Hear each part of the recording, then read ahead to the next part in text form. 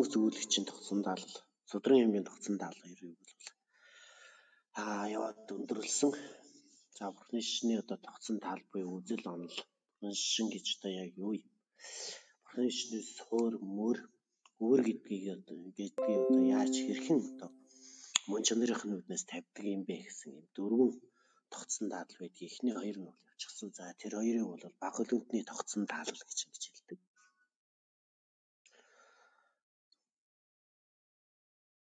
За тэгээд баг хөлгөндний тогтсон тааллаа гэж хэлж байгаа. За баг хөлгөндний тогтсон таалал гэж хэлээд за одоо үлдсэн хоёр тогтсон буюу сэтгэл төдийдний тогтсон таалал, төвзлийн тогтсон таалал хоёрыг нь бол а их хөлгөндний тогтсон таалал гэж хэлдэг. За яагаад их хөлгөндний тогтсон таалал, баг хөлгөндний тогтсон таалал гэж ялгаж хэлээд байгаа юм бэ гэхлээр тэр бол а юмс үзэгдэл ухамсараас харгалзалгүйгээр ангид оршдог бөгөөд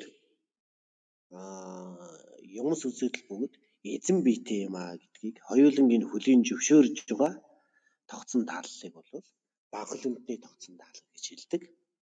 А тэр хоёрын аль нэгийг нь хөлийн зөвшөөрөхгүй байгаа тийм тогтсон тааллыг бол их хөлгөнтний тогтсон таалал гэж хэлдэг. За тэгээ их хөлгөнтний тогтсон таал дотор хоёр байгаагийн сэтгэл төдийцсний тогтсон тааллыг болол ингэж яах яриа гэж бодож байна. За тэгвэл сэтгэл төдийцний тогсон тааллыг бол 7 хэсэгт хувааж ярина гэж. Урд адил 7 хэсэгт хуваана гэж. За урдны одоо өрөөс үүлэгч болно. Судрын аймгийн тогсон тааллыг бол 7 7 хэсэгт хувааж тайлбарлаж ирсэн. Яг тэрнтэй адилхан гэж. Ямар 7 хэсэгт хувааж аа хувааж тайлбарлах вэ гэхээр зэрэг сэтгэл төдийдний сэтгэл төдийдэн гэж одоо ямар тогсон тааллыг өгүүлдэг хүмүүсийг сэтгэл төдийдний тогсон таалалт гэж хэлдэг юм сэтгэл хөдлөлтний тогсон тал дотор нь хэдэн янзаар хуваадаг. Яагаад сэтгэл хөдлөлтний тогтсон таалалтан гэж нэрлсэн юм? За тэгээд сэтгэл хөдлөлтний тогтсон таалалтны ёсонд юмс үзэгдлийг хэрхэн үздэг юм? Ухамсарыг одоо хэрхэн яаж одоо ямар мөн чанар төлөв байдалтай байдаг гэж үздэг юм. А дээрээс нь нэмээд бол а юмсын эзэн бий болон бодгалын эзэн бий үгүй гэдгийг хэрхэн яаж одоо мөн чанарын нүднээс тавьж үздэг юм. За гэгэрл төрөх зам мөр нь одоо ямар байдаг юм бэ? Шарваа болон борид гавд бодсадва нарын тус тусынх нь гэгэрл төрөх зам мөр гэж хэрхэн ямар зам мөр байдаг юм бэ гэдгийг бол аа гэсэн ийм 7 хэсэгт бол аа сэтгэл хөдлөлтөд тогтсон дадлыг хуваагаад бол хэлнэ. За энэ дотор юу гэж ирэхлээр зэрэг эхний их нь буюу сэтгэл төдийтэн гэж одоо ямар бодгалыг хэлэх юм бэ? Ямар одоо тогсон талын үүлээч бодгалыг сэтгэл төдийтэн гэж хэлэх юм бэ гэхээр зэрэг бол а гадны утгыг эс хөлийн зөвшөөрөөд а өөрийн мэдэмсрийг үнэн үнэнд бүтсэнд зөвшөөрдөг их хөлгөндний тогтсон таалын үүлэгч бодгал түүний сэтгэл төдийтний тогтсон таалалтан гинэ гэж. За энэ утга нь юу гэж байгаа юм бэ гэхээр зэрэг гадны утгыг хүлээн зөвшөөрдөг гэж байна тийм ээ. Гадны утгыг хүлээн зөвшөөрдөг гэдэг нь юу гэж байгаа юм бэ гэхээр зэрэг ухамсараас үл халгазан оршдог юмс үзэгдэл байдаг гэдгийг огт хүлээн зөвшөөрдөг. Байгаал бол ухамсараас харгалзан оршиж байгаа шүү гэж хүлээн зөвшөөрдөг. Ухамсараас бол харгалзалгүйгээр оршдог нэг ч зүйлийг хүлээн зөвшөөрдөг. Нэгдүгээр арга нь. За хоёрт нь гэж юм хэрэг зэрэг өөрийн мэдэмсэрэг үнэнд бүтсэн хүлээн зөвшөөрдөг гэж. За өөрийн мэдэмсэр гэдэг нь юу гэж хэлж байгаа юм бэ гэхээр зэрэг оюун ухааныг танин мэддэг дотоод оюун ухаан байна гэж хүлээн зөвшөөрөөд тэр дотоод оюун ухаанаа одоо юу гэдгийг э үнэнд бүтсэн байна гэж үзэж байгаа. За үнэнд бүтсэн гэдэг нь юу гэж байгаа юм бэ гэхээр зэрэг э тэр дотоод оюун ухаан маань бол э ухамсараас ангид ганцаараа бүтээгүй тэгсэн мөртлөө одоо 100% бас ухамсараас харгалзаж бүтээгүй харилцан одоо юм 50 50% харгалзаатайгаар тэр дотоод ухамсар бол оршиж байгаа гэж гэж үздэг. За Синзенбогийн үзэл нь бол гол одоо юу гэдгийг төв гэдэг юм гол одоо зарчим нь бол юм байна тийм ээ. За тэгээд э, сэтгэл төтөйтөн аа тийм мэдлэлтэн эгзэрви явдалтан гур болвол нэг утгатай юм а гэж. За сэтгэл төдийдний тогтсон юу гэж нэрлэх вэ гэхээр тийм одоо ухамсарын буюу тийм мэдлийг тийм ухамсарын тогтсон таалалтан гэж хэлнэ. А эгзрийн явдалтны тогтсон таалалтан гэж бас хэлдэг. За энэ гурван янзаар бол нэрлэлсэн нэрлдэг. За хоёр дахь нь хоёр дахь нь буюу сэтгэл төдийдний тогтсон даатал дотор нь хэдэд хуваадаг вэ гэхэлэр зэрэг хоёр хуваадаг гэж. Юу гэж юм гэхэлэр тийм одоо үнэн сэтгэл төдийдэн тийм хуурмаг сэтгэл төдийдэн гэж хоёр байдаг. За тийм үнэн сэтгэл төдийдэн гэдэг нь ямар одоо бодгалуудыг хэлээд байгаа юм бэ гэхэлэр зэрэг а үзлийнх нь үүднээс энэ хоёрыг хуваачих. За ямар үзэлтэйг энэ одоо тийм үнэн сэтгэл төдийдэн ямар үзэлтэйг энэ тийм хуурмаг сэтгэл төдийдэн гэж хэлээд байгаа юм бэ гэхэлэр зэрэг За нэгдүгээрт бол сэтгэл төдийдэн байх хэрэгтэй байх нь. За дараа нь яг үсэр зэрэг эгэл төрөлхитний сэтгэл сэтгэл эгэл төрөлхитний ухамсар дүрсийг барихад. Элтэд одоо тийм харагдаж байгаа дүрсийг дүрсийг харахад тухайн харж байгаа ухамсар болон харагдаж байгаа дүрс хоёрын хоорондоор одоо мунхарлын авьяас орж явах юм орохгүй гэдэг нь бол орохгүй гэсэн тийм үзэлтэй байх юм бол тийм одоо үнний сэтгэл төдийтэн гэж хэлнэ. Аа орж ийн гэж үзэх юм бол тийм хурамгийн сэтгэл төдийтэн гэж хэлнэ гэж. За энийг нь тайлбарлах юм бол юу гэж байгаа юм бэ гэхээр зэрэг эхлээд бодгаал эгэл төрлөхийдэн бол дүрс одоо ямар нэгэн одоо материалын зүйлийг харахад жишээ нь одоо ширээ харлаа гэж бодоход тэр ширээг харж байгаа эгэл төрлөхийдний нүдний ухаан тэр нүдний ухаанд нь харагдаж байгаа ширээ хоёр харилцан нэг нэг нэлүүгэн бол тусч харагдаж байна гэж үздэг.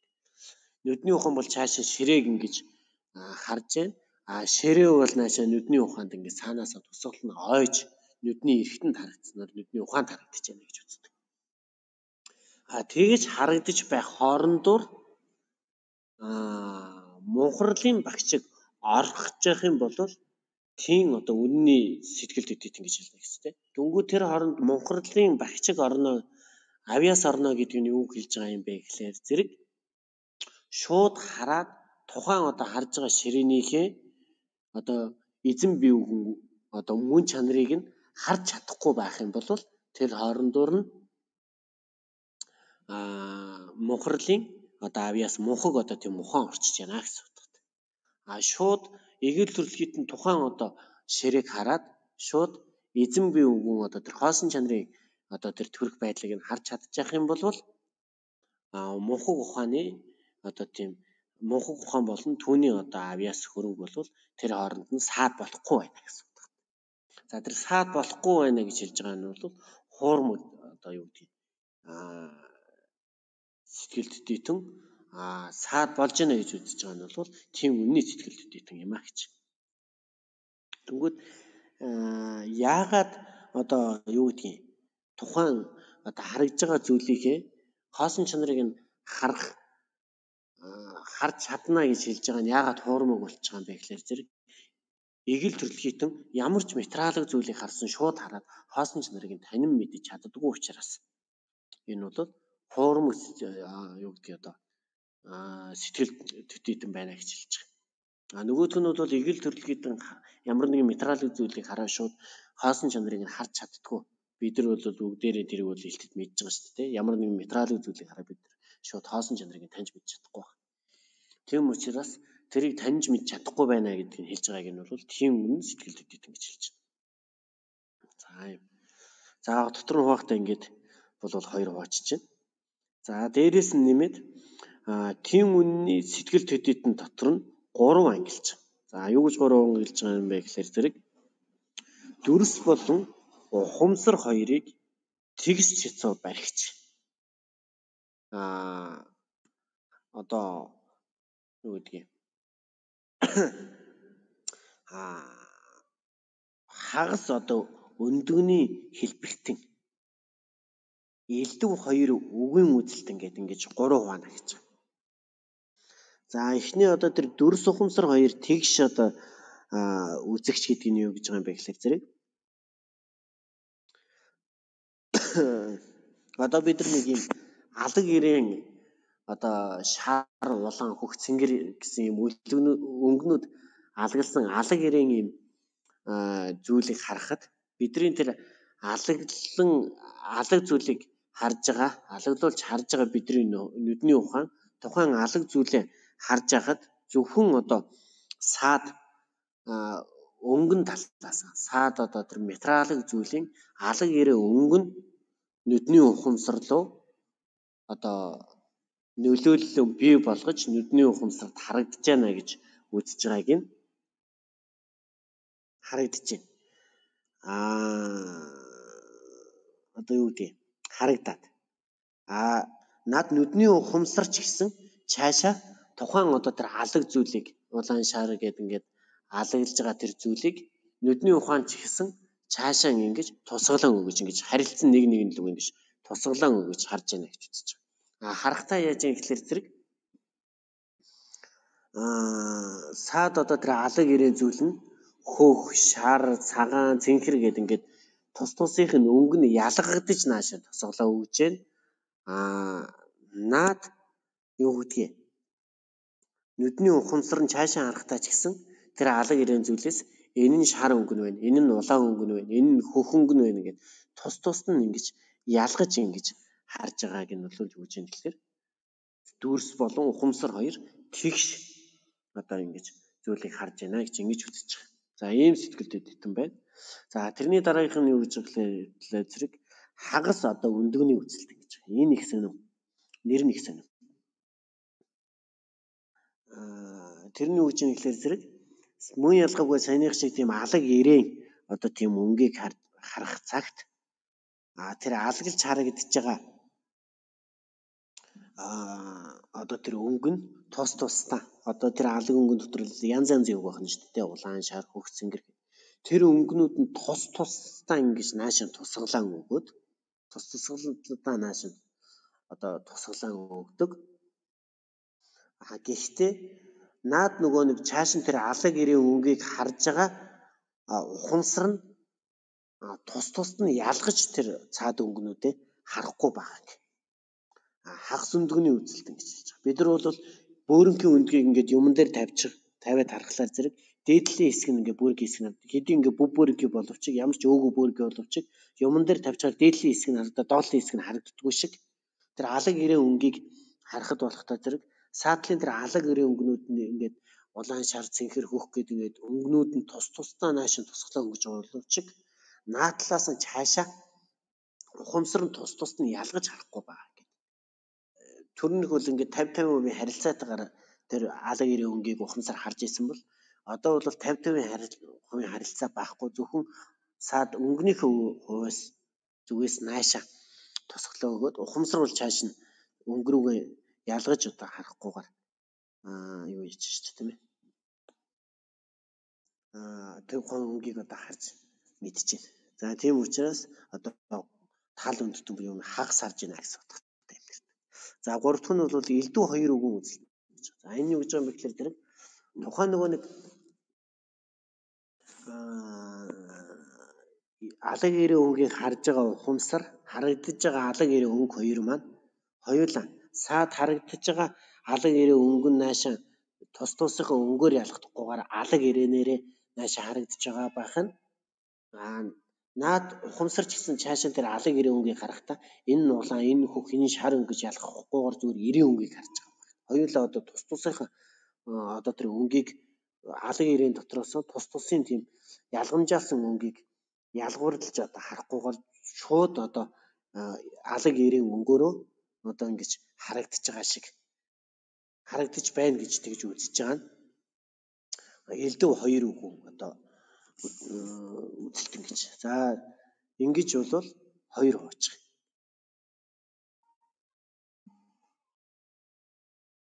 За ингэж хоёр хувааж байна. За ингэж хоёр хуваагаад аа ингэлээ. За дараа нь болохтой зэрэг аа за ингэж бол тийм үнний сэтгэл төдийд нь бол ингэ болчихж байгаа. За тийм форм сэтгэл төдийд нь дотор бол хоёр хувааж байгаа. Гэж хоёр хувааж байгаа гэхээр зэрэг хэртэй барилцсан ди гэж хэлж байна тийм ээ. Хэр одоо хилэнц луга барилдсан одоо сэтгэл дэдитэн а хэр хилэнц луга баригдaltaй хөө сэтгэл дэдитэн гэж хоёр аваадаг гэж. За ингээд бол сэтгэл дэдитний үзэл дотор бол а дотор нь одоо хэд ангилж хуваадаг нь бол ингэж явчихж байгаа. За үүний дараа бол яахаа сэтгэл дэдитэн гэж хэлсэн юм бэ? За яагаад сэтгэл төдийтэн гэж хэлсэн бэ гэдэг чинь юмс үзэгдэл бүгд сэтгэлийн мөн чанартай төдийд хүлээн зөвшөөрдөг учраас сэтгэл төдийтэн гэж хэлсэн гэж. За энэ бол маш тодорхой биш үү те? Сэтгэл төдийтний ёсны зүйл юу гэж юм гэхээр оршиж байгаа юмс бүгд дотоод сэтгэлийн мөн чанартай юм аа. Дотоод сэтгэлийн харгалзаж байгаа төдий бус тухайн одоо юмс бүгд өөрөө сэтгэлийн мөн чанартай. Аа сэтгэл ч гэсэн юмс үзэгдлийн мөн чанартай юм байна гэж. Жишээ нь одоо юу гэж байгаа гэхээр зэрэг одоо нэг аршааны бомб байлаа гэж бодоход тэр аршааны бомб өөрийгөө харж байгаа нүдний ухаантай нэг мөн чанартай байна гэж. Тэгэхээр сонсоход бол жоохон сонсог сонир байна. Тэг нэг нь дүрс, нэг нь ухамсар шал хоёр өөр зүйл үйжээж яагаад хоёулаа нэг мөн чанартай гэж байгаа юм бэ гэхээр зэрэг саад харагдаж байгаа аршааны бомб харж байгаа нүдний ухаан хоёр хоёулаа нэг одоо тийм шалтгаанаас үүссэн зүйл юм аа. Нүдний ухааныг бомбыг харж байгаа нүдний ухааныг төрүүлэх тэр шалтгаанаас нүдний ухаан төрөөд бомбыг харж байгаа нүдний ухаан төрөөд бомбыг харж байгаа нүдний ухаан бий болсон учраас төвний мөн чанартай бомб одоо цаана дүрсэнд бууж үзэгдэж байна гэж ингэж үздэг. Юмс үзэгдэх бүхэн болвол одоо ухамсарын мөн чанартай, оюун ухааны мөн чанартай, сэтгэлийн мөн чанартай гэж ингэж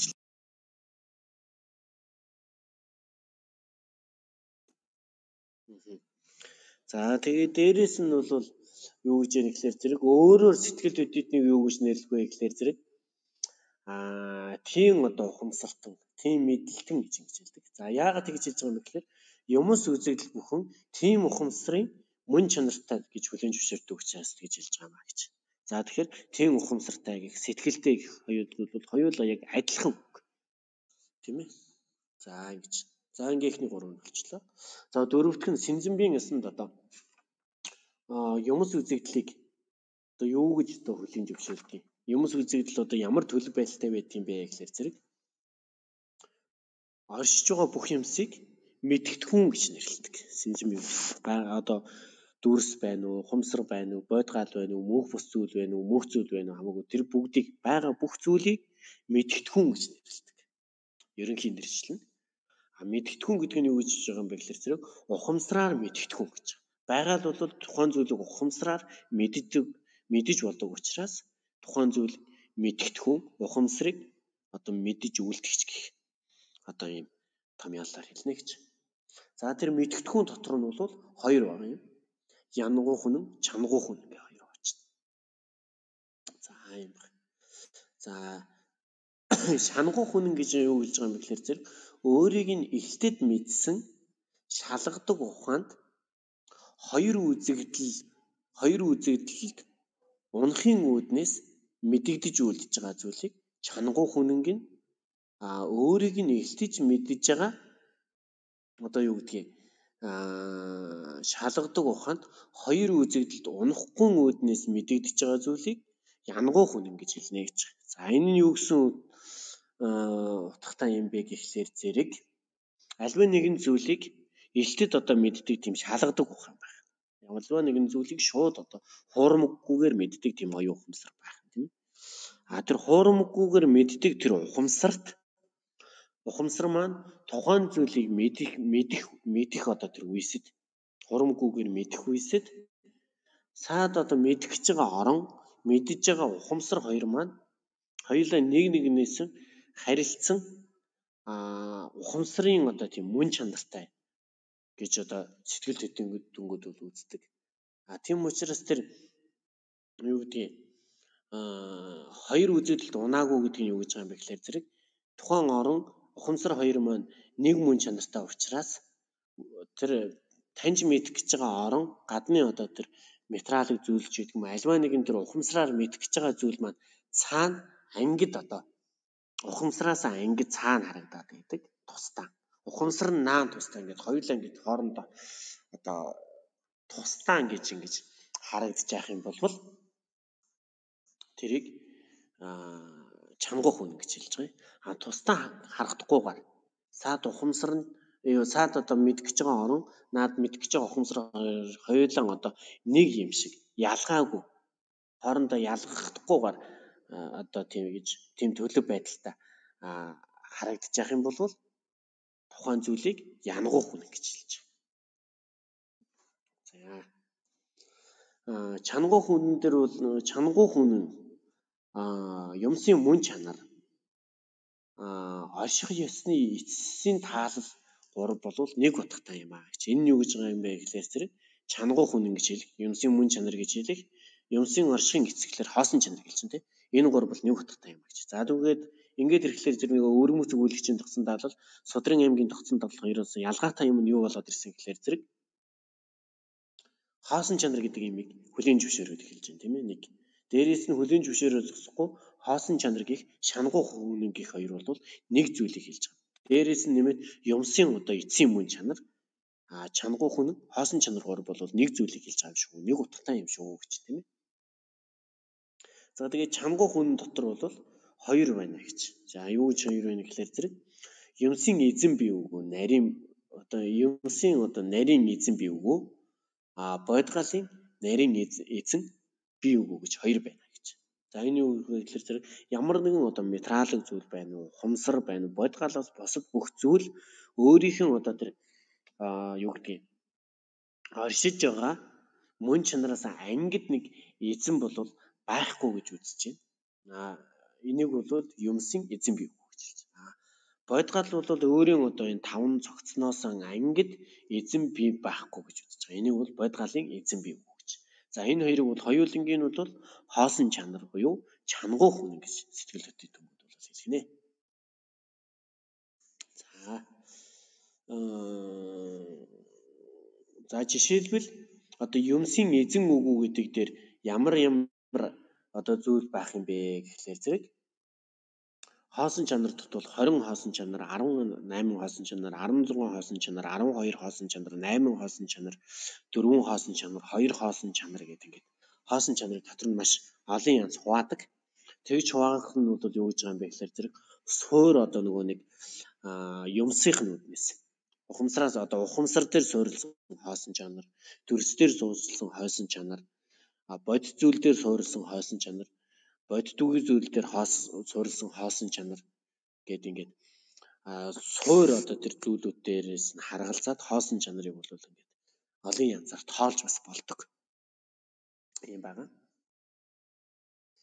За яа тэгэд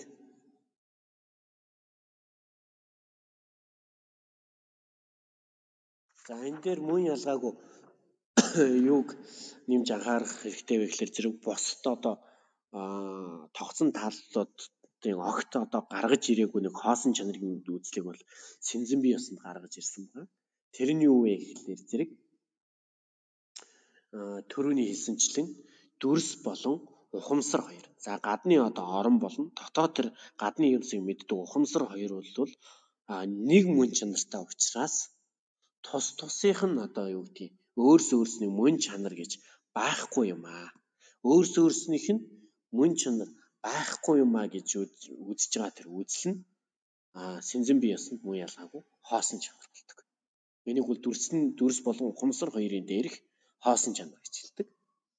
За үүнээс гадна муу ялгаагүй сэтгэл хөдлөлтний ясанд нэг хоосон чанарын тухай ярьдаг. Энэ хоосон чанарыг бол бурхан багш одоо номлосон боловч энтхийн мэргээд одоо дээдлэнэр бол энэ хоосон чанарыг бол номлож гаргаж ирээгүй гэж үздэг. Харин одоо богдлон хуваалан болвол сайдар номлын зүрхэн гэдэг ном дотор энэ сэтгэл дэдэтний ёсыг альдж явах та энэ хоосон чанарын тухай тайлбарласан байдаг. Энэ нь ямар хоосон чанарыг илж байгаа юм бэ гэхээр зэрэг дүрсийг дүрсгийж өгүүлж байгаа дууны орхотхууны олон орхотхууны суур нь өөрөө мөн чанарын үүднээс бүтээгүй юм аа гэж үзэх үзэл бол хоосон чанараа гэж хэлж байгаа. За энэ нь юу гэж байгаа юм бэ гэхээр зэрэг бид нар дүрс гээд хэлгээд дүрс гэдэг нэг дуу гарч ийн тийм ээ. За тэр дүрс гэдэг дуу дүрс гэдэг дуу аа болохтлаар зэрэг өгүүлэмж нь юу вэ гэхээр дүрс байна шүү дээ тий. Түнгүй тэр дүрс гэдэг дууны өгүүлэмж болсон дүрс нь өөрийнх нь одоо агаараас бүтээгүү. Өөрөөр хэлбэл сэтгэлээс хамааралгүйгээр бүтээгүү. Сэтгэлийн мөн чанараас хамааралгүйгээр өөрийнх нь мөн чанараас бүтээгүү юм а гэж хэлж байгаа аа сэтгэл төдийдний ёсонд бол мөн ялгаагүй хоосон чанар гэж үздэг. А энэ хоёр бол хэлэх одоо төрөүний нөгөө нэг дүрс болон ухамсар хоёр харилцан нэг нэгнээс хамааран оршиж байгаа нэг нэгнийхээ мөн чанартай юм а. Тийм учраас өөрс өөрсдийнхөө мөн чанараас бүтснээс хоосорсон сэтгэл төдийдний хоосон чанараа гэж хэлсэн. А саяны хэлдэг хоёр бол хэлж байгаа өнцг нь өөр болохоос биш ойлголт ухах нь бол яг адилхан. Ийм байж байгаа. За бодгалын бие үгэн үзэл гэдэг нь бол аа яг төрөнийхтэй адилхан. Яг төрөнийх гэдэг нь юу өвөрмөц өгүүлэгчийн тогтсон таалал Судрын аймгийн тогтсон таалал хоёрын үеэст үзэж байсан бодгалын эзэн бие үгэн үзэлтэй бол яг адилхан. За тэгэхээр юу юу гэж үзэх хэрэгтэй вэ гэхээр зэрэг таван цогцноос ангид таван цогцноос мөн чанарын хувь тусдаа тийм эзэн бие гэж бол байхгүй гэж үзэж байгаа. За юм байж байна. За ингээд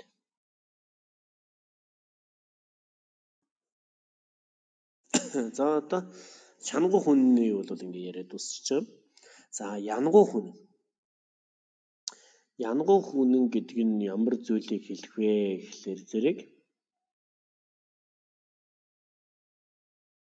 Янгуу хүнэн гэж бол хорон үйлсэн зүйлийг хэлнэ гэж тийм ээ. За хорон үйлсэн. Аа янгуу хүн дотор бол хоёр хуваачиж байгаа. Бусдын эрхтэн болон бүхэнд нэрийгч хотлоор одоо нэрийтгэж хоёр хуваачиж байгаа. За бусдын эрхэнд одоо одогч буюу бусдын эрхэнд одоо байдаг зүйлсийг нь юу гэж хэлэх вэ гэхээр зэрэг хуран үйлдэгч буюу мөнх бос зүйлүүдийг хэлж байна. Хотлоор нэрийдэгч зүйлүүд нь бол хуран үйлдэггүй буюу мөнх зүйлүүд. А гэхдээ мөнх зүйлүүд дотор хоосон чанараас бусад бүх зүйлүүдийг хотлоор нэрийдэгч гэж хэлэх юм тийм ээ. За юм байж. За. Бодит зүйл бүгд үнэнд бүтсэн болон хуурамг хоёрын хоёр хоёулаа болно гэж хүлээн зөвшөөрдөг. Гэж байна. За энэ юу гэж байгаа юм бэ гэхээр зэрэг үнэнд бүтсэн гэдэг нь юу гэж ийнэ гэхээр аа юу гэдэг одоо? Аа үнэнд бүтсэн гэхээр зэрэг бол хэдийн одоо юмс үзэгдэл ухамсарын мөн чанартай боловч ухамсарын мөн чанартай боловч одоо юу гэдэг ямар нэгэн шалтгаан тулгуурлан өөрийн хүчээр бүтсэн гэж үздэг. А гэвч юмс үзэгдэл бүгд хоосон чанартай гэж үздэг утгатай. За юм байж байна.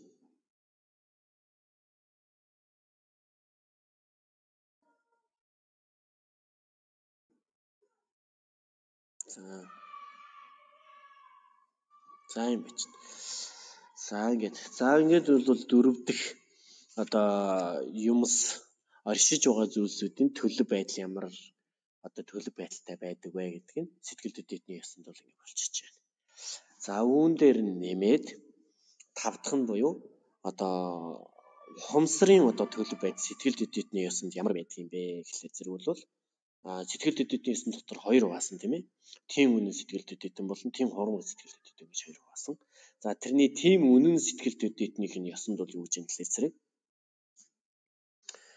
аа 8 тийм мэдл байна гэж үздэг. Бусад одоо тусан таалууд байхгүй ялгамжаатай зүйл. За бусад одоо тогтсон таалууд тал бол 6 тийм мэдл байна гэж үздэг. Нүдний тийм мэдл, хамрын тийм мэдл, хэлний тийм мэдл, чихний тийм мэдл, а сэтгэлийн юу гэдэг хөрөлцөхийн тийм мэдл, а сэтгэлийн тийм мэдл гэж 6 байна гэж үздэг. А сэтгэлд юу тийм үнний сэтгэл төдийдний ясанд бол 8 байна гэж үзэж байгаа. Ямар 8 байна гэж үзэж байгаа гэхээр энэ дээрээ нэмээд энэ дээрээ нэмээд а энэ 6 дахь буюу сэтгэлийн тим мэдл дээрээ тулгуурлан түүнийг бод галын эзэн байна гэж бод галыг эзэнд барихын тийм мэдл гэж долоо дахь тийм мэдл байна гэж үзэж байгаа. А 8 дахь тийм мэдл нь болохтой зэрэг а энэ 7 дахь тийм мэдл буюу бод галын эзэн байна гэж одоо барьж байгаа сэтгэлийн ухамсар дээр тулгуурласан тийм мэдл болвол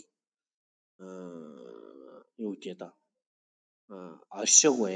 Тийм одоо бодголын эзэн байна гэсэн тийм мэдлийг бол өгүүлсгэж байгаа тийм сэтгэлийн нэг тийм тийм мэдл байна гэж үздэг. 8 дахь тийм мэдл нь. А энэ 8 дахь тийм мэдлэн бол юу юу гэдэг вэ гэхээр зэрэг бод гал гэж үздэг. Бод галын одоо юу гэдгийг шин чанарыг бол энэ агуулж байна. Бод гал гэж бол одоо энэ 8 дахь тийм мэдлийг хэлнэ гэж үздэг. За. За ингэж үзэж байгаа. За ингэж үзээд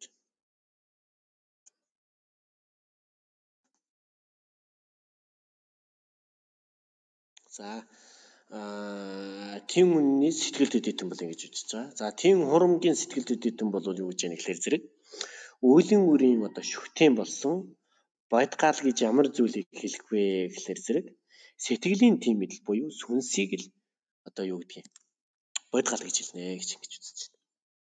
За тэгээд дээрэс нь нэмээд бол а оюун ухааны төлөв байдлыг гэж үзэж байна гэхээр оюун ухаан дотор шалгадаг ухаан болон шалгадаг бус ухаан оюун гэж хоёр байна. Аа шалгадаг ухаан дотор бол элтэд мэддэг шалгадаг ухаан, даган барьдаг шалгадаг ухаан гэж хоёр байна. Элтэд мэддэг шалгадаг ухаан дотор бол дөрв байна. А гэхдээ одоо нөгөө өчтөрийн ярьсан судрын аймгийн тогтсон тааллынхтай ингээ адилхан юм явж байгаа.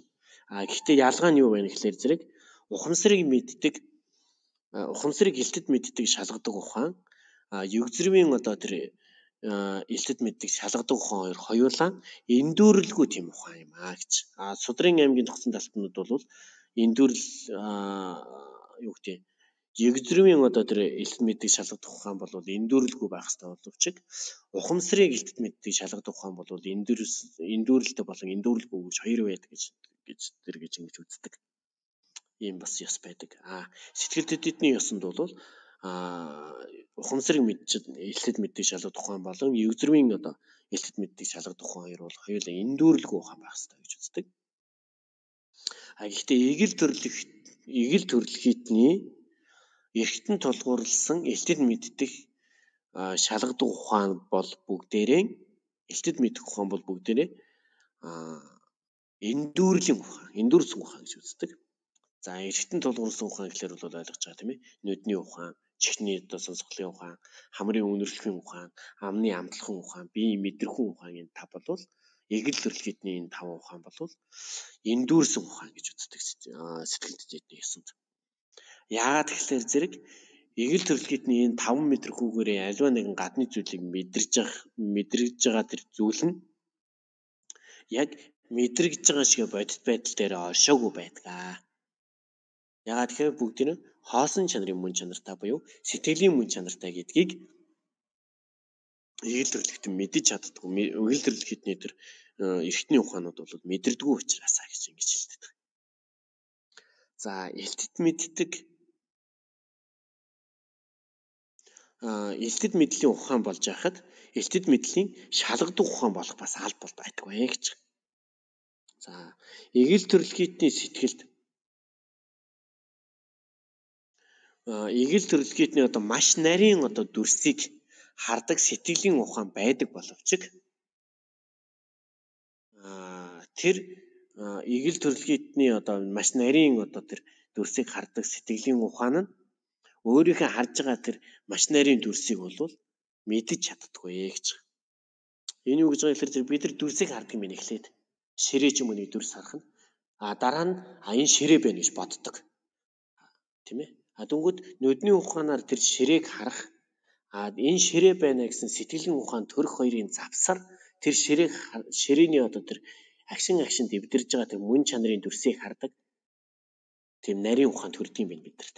А тэр нарийн ухаан төр төрдгийг бидний сэтгэлийн ухаан бол тусгаж авдаг юм байна. Гэвч бид нар тэрийг танин мэдчих чадахгүйгээр өнгөрүүлждэг. Маш хурдан хугацаанд тэр ухаан төрөд өнгөрдөг гэж ингэж үзэж байгаа.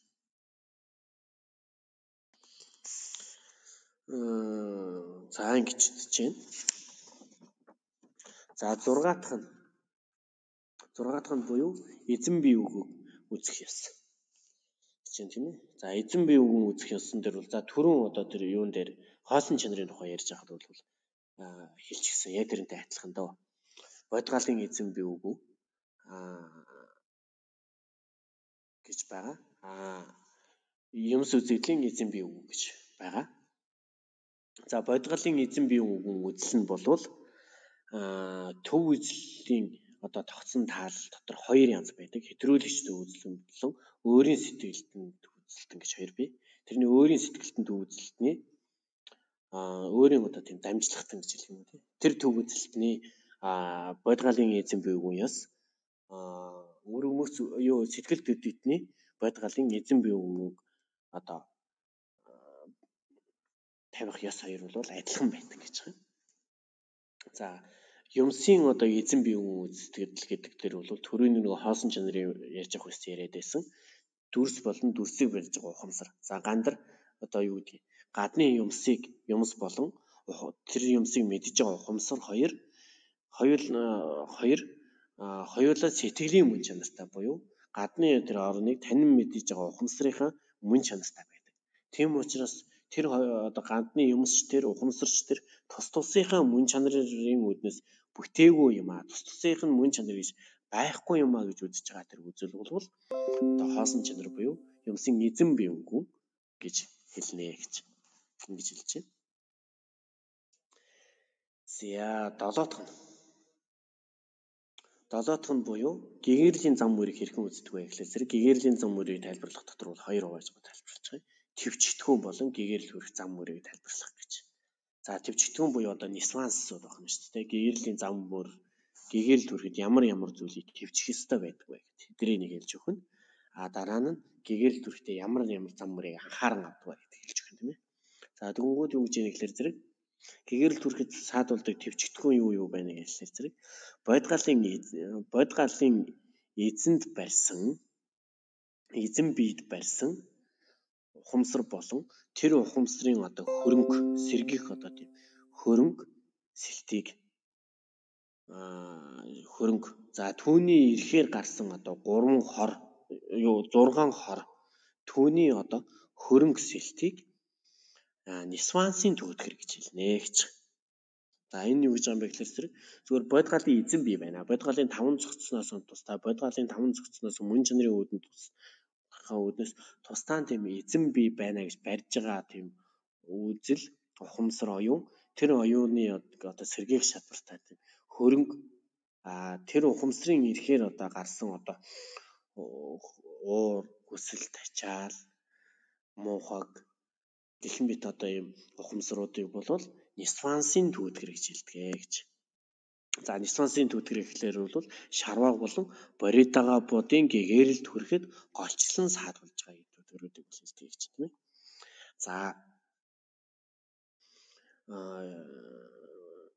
ингэж хэлж байгаа. За дараагийнх нь юу гэж хэлэхээр зэрэг үнэнд барих үзэл болон түүний хөрөнгө түүний одоо хөрөнгөний түүний хөрөнгө түүний одоо авиас түүний ирэхээр одоо гарсан хоёр үзэгдлийн эндүүрэл бүгдийг мэдхтүүний түүдгэрт тавина гэж.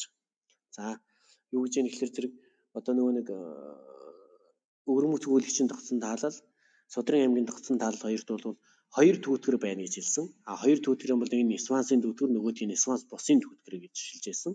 А мэдхтүүний түүтгэрийг бол хүлээн зөвшөөрөхгүй гэж байсан бол а сэтгэл төдийдний ясан зэрэг тэгэхээр зэрэг мэдгэдгөөний түүтгэр гэдэг юм хүлэн зөвшөөрөд ирэлж байна тийм. За мэдгэдгөөний түүтгэр дээр юу хэлж байгаа гэхээр зэрэг үнэнд барих бодол болон түүний хөрөнгө, түүний авьяас, түүний ирэхээр гарсан хоёр үзэгдлийн эндүүрэл дэрийг хэлнэ гэж. За энэ юу гэж байгаа юм бэ гэхээр зэрэг үнэнд барих бодол гэж үгэлж байгаа гэхээр зэрэг юмс үзэгдэл бүгд сэтгэлийн мөн чанартай биш юм аа гэж бодож байгаа бодлоо хэлж байгаа.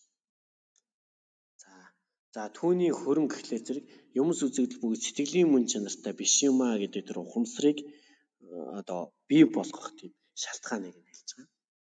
За түүний авиас гэдэг нь бол мөн ялгаагүй хөрөнгөний хэлж байгаа. Түүний ирэхээр гарсан хоёр үзэгдлийн эндүүрэл гэдэг нь юу гэж байгаа юм бэ гэхээр тэр юмс үзэгдэл бүгд сэтгэлийн мөн чанараас бүтээгүй гэдэг тэр ухамсар тулгуурлан яаж юм гэхээр гадны юмс дотоод ухамсар хоёр хоёулаа тусдаа одоо нэг ширээ харлаа гэж бодоход тэр ширээ бүр тэр цаана тэр ширээг харж байгаа ухаан миний дотор энэ наан ингээд тусдаа харагдаж байгаа шиг. Юм хоёр үзэгдэл харж байгаа. Энэ бол эндүүрсэн үзэгдэл юм аа. Үнэн мөн чанартай бол цаана харагдж байгаа ширээ, наана харагдж байгаа тэр ширээг харж байгаа хүнсэр хоёр бол нэг мөн чанартай юм а. Тийм учраас энэ хоёрыг тусад нь харж байгаа нь бол эндүүрсэн ухаан гэж. За энэнийг бол юу гэж байгаа гэхээр мэдтгүүний төвдгэрт бол тавих хэрэгтэй гэж гэж. За ингээд төвчтгүүнүүд нь төвчих ёстой юмнууд нь юм байна. За анхаарал авах ёстой юмнууд нь юу гэж яах гэхээр зэрэг За шарвааг нүгүүд яаж яах гэхээр зэрэг бодгалын эзэн биен үгүүг онсон бэлгэн ухааныг шарваагийн гэгэрлийн замаар замнагч нугууд тухайлан өөрийн хэргийг бүтээх буйны чуулганыг одоо хураа хураад юм а гэж.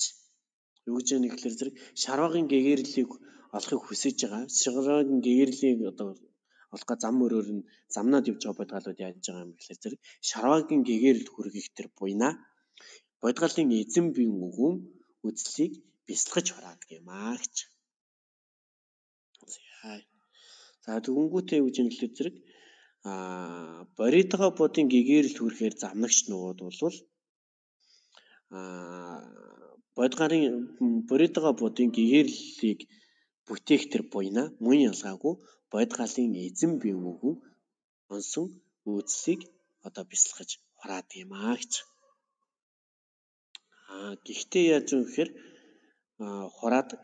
Хураахтан болвол 3 наснаас эхлээд 100 галууны хүртэл дадуулан үлдэж хураадаг юм аа гэж.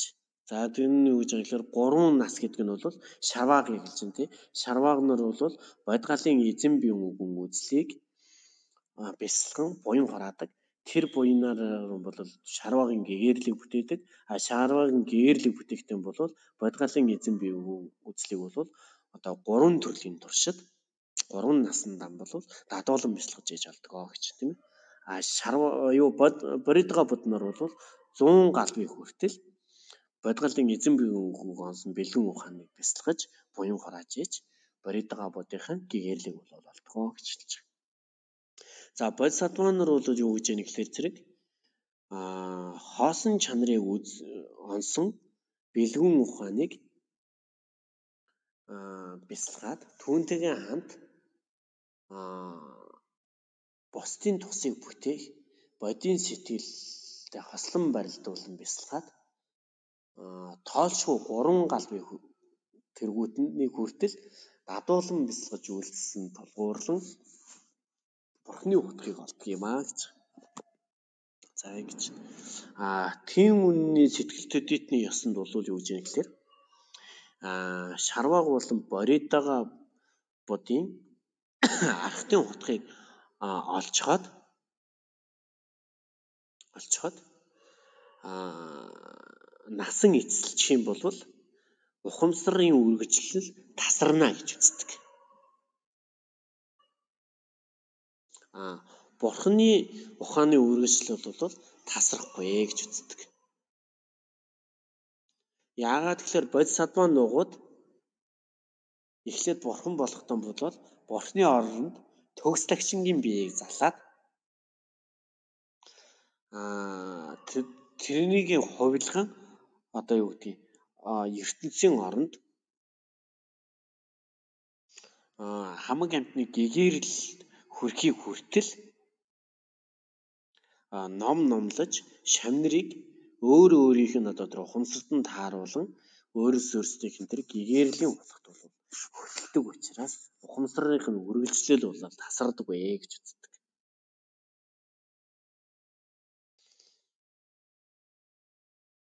А гурван хөдөлгөнтөн бол өөрөөс өөрсдийнх нь одоо гэгэрлийн язгуур нь бас тус тустай байдаг. Сэтгэл төдийд нь аюу амтан нугад тэргүүлшгүй цагаас хойш өөрс өөрснийх нь тус тусных нь гэгэрлийн ялцгуур, тус тусных нь бие мах бод, тус тусных нь одоо оюун санаа ялгаатай байдаг гэж үзэж байгаа. Өөрөөр хэлбэл юу гэж юм бэ гэхээр төгслийн тогтсон талын ёсонд юу гэж юм гэхээр хамаг амтан эцсийн төгс гэгэрлийн утгыг олно гэж үздэг бол сэтгэл юу гэдгийг сэтгэл төдийдний тийм үнний сэтгэл төдийдний ясанд бол тэгж үздэг. Яа тэгэхээр зэрэг амтан бүгд тэргүүлсгүй цагаас эхлээд өөрс өөрсдийнх нь одоо гэгэрлийн зам мөр гэж байдаг. Өнөөдөр ганц зэрэг гэдэг бодгал тэргүүлсгүй цагаас эхлээд нэг бол төгс гэгэрэлд хүрэх нь бол анханасаа магттай байдаг. Аль эсвэл боридогоо бодын харахтыг олох нь магттай байдаг. Аль эсвэл шарваагийн харахтыг олох нь магттай байдаг. Хэрвээ шарваагийн одоо аргатыг олж олчих юм бол цаашаа хөгжөөд төгс гэгээрэл төрнө гэсэн ойлголт байхгүй. Эцсийн зогсоол нь шарваагийн одоо тэр гэгээрэл төрөх байдаг. Чи ингэж үздэг. Аа юм бэ? Харин тийм хуурамгийн сэтгэл дэдний үед гэж чинь гэхэлэр зэрэг шарвааг болон боридогоо будын архад нугууд аа харахтын утгыг олоод нас эцэслээ ч гэсэн галсангаас нөхцлөө ч гэсэн ухамсар нь үргэлжлэл бол тасардгүй маа. Аа насан эцэлгийн цагт нь бол юу гэж гэхээр зовлон болон зовлонгийн шалтгаанд хураагддаг одоо тийм буруу ухамсаруудын нь үргэлжил тасарна үгээс тухайн бодгалын өөрийнх нь одоо тэр гэгээн гэрлийн мөн чанартай ухамсарынх нь үргэлжил бол тасрахгүй гэж үздэг цаашлаад бүр бурхны хутгыг ч гэсэн олж болно гэж үздэг. Синзэн амьд юу тийм одоо үнний сэтгэл хөдлөлтөн болон тийм хоромгийн сэтгэл хөдлөлтөн хоёрын гэгэрэлтийг одоо ялгах ялгамжаа нь бас юм байдаг. За ингээд бол сэтгэл хөдлөлтний ёсны гол одоо үзэл гэх юм уу одоо гол одоо зарчмууд нь бол ингээд ийм.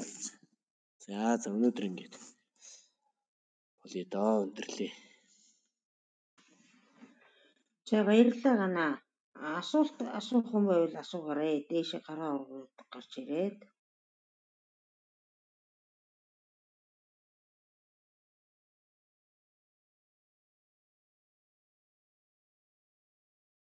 За итгэл асуултаа асуугаарай. За. Багшаа би нэг хэдэн э, нэг нэр том Нин нэг олон байна. Нин би дараагаараас багшаа тэр нэмдэг тийм хөдөл байна гэсэн нэг гарч ихэд л байна. Чөөлөн дотор нь жиргатдаг, долоотдаг хөдөл гэж бас байна. Тэр нь ямар хөдлүүд бэ? Энийг нэг хэлээд өгвөл.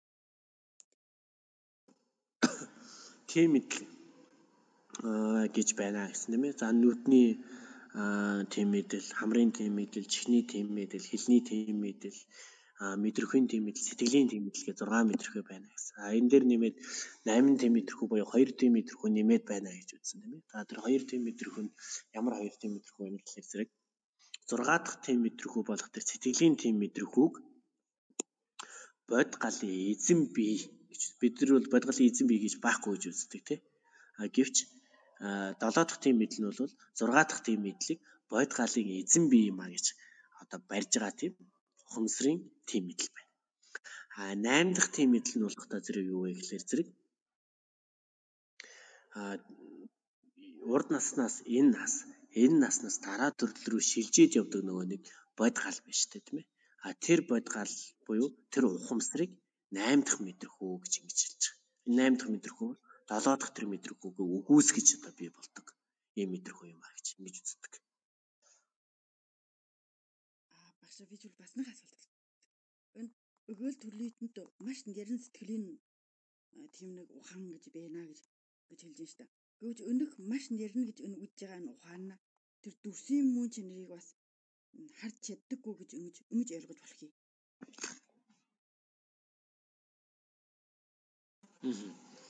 Игэл төрлөختөнд одоо маш нарийн ухамсар нэг байна гэж хэлдэг тийм ээ. Тэр ухамсараа юу гэсэн бэ гэхээр тэр жишээлбэл би одоо нүдний ухаанаараа ширийг харж байхад эхлээд ширээний дүрсийг хараад Эхлээд нүдний ухаан ширээний дүрсийг хараад тэр нүдний ухаанаар дамжуулан сэтгэлийн ухаан энэ ширээ байна гэсэн бодол төрж иж бид нар ширээ гэдгийг мэдж байна шүү дээ.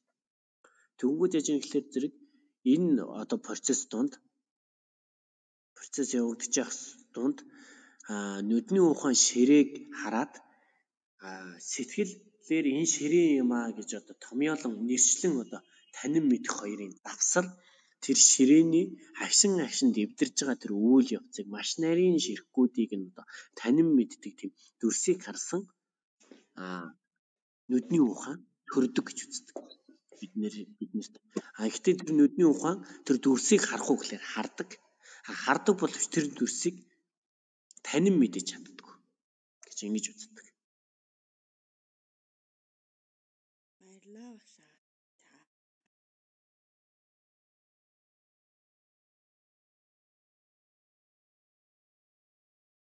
За өөр асуулт байна. Хана асуулт байна. Аа сайн байна уу. Орой минь төргий та нарт ингээм баярлалаа. Сайхан ном айлтж хамдаа бас баярлж байна. Тэгээд одоо сэтгэл төдийдний тухай өнөөдөр ярьж байна. Альтж байна. Сэтгэл төдийдний хамгийн гол үзэл онол байгаа шүү дээ. Тэрүүн дээр одоо Дигнагагийн тавьсан онол нэгсэндээ цадмаа гүндийг зохиосон байгаа тийм. Аа түүн дээр нэмэлт одоо дарма критикийн цадмаа намдлыг зохиосон. Энэ үзлүүд нь одоо энэ сэтгэл төдийдний үзэл дээрээ тулж байгаа юу гэдгийг нэг асуух гэсэн юм аа. Мм зөв.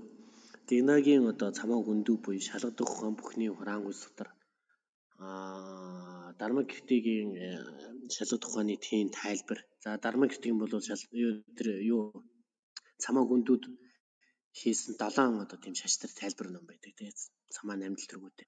Тэр 7 бүгд аа сэтгэл төдийдний яс дээр тулгуурлан яв. Гэхдээ а зарим үеэсэд сэтгэл төдийтэн болон судрын аймгийн нийтийн ёсонд бас тулгуурласан тийм хэсэг бол бас байдаг.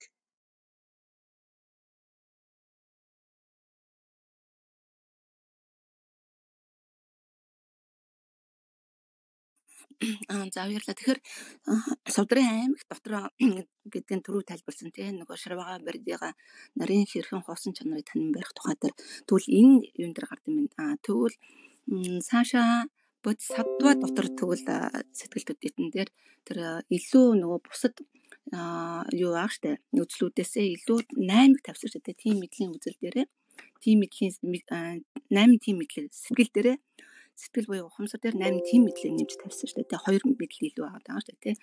Түүгээрээ хамгийн гол нь буцаагаад янах үзэгдэл чанах үзэгдэл хоёр явагдаж байгаа тийм. Тэгвэл үүн дээрх хамгийн гол одоо нөгөө юу нь юу гэдэм бэ? Одоо дигнагийн гол онол нь юун дээрээ тулт юм бэ гэдэг. А дарма кредит дээр ч гэсэн нэмэлт тайлбар тайлбар авч болох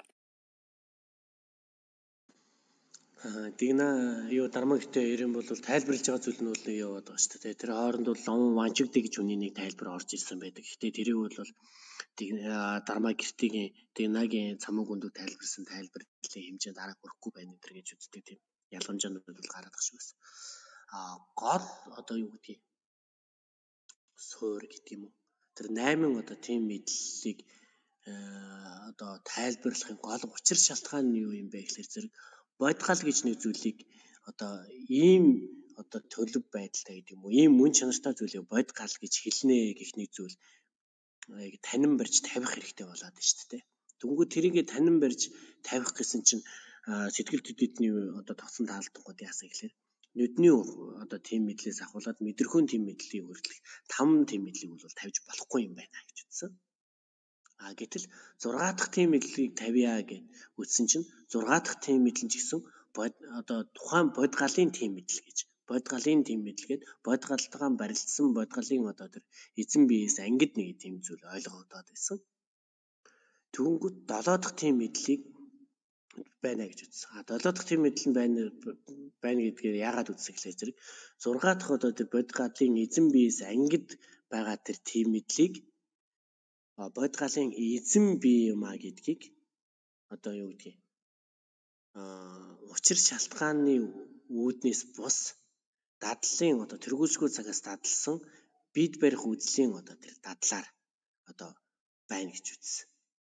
Ерөнхийдөө бол юу вэ гэхлээр зэрэг бид барих үзлийг л тэр 7 дахь тим мэдлэг гэж хэлж байгаа.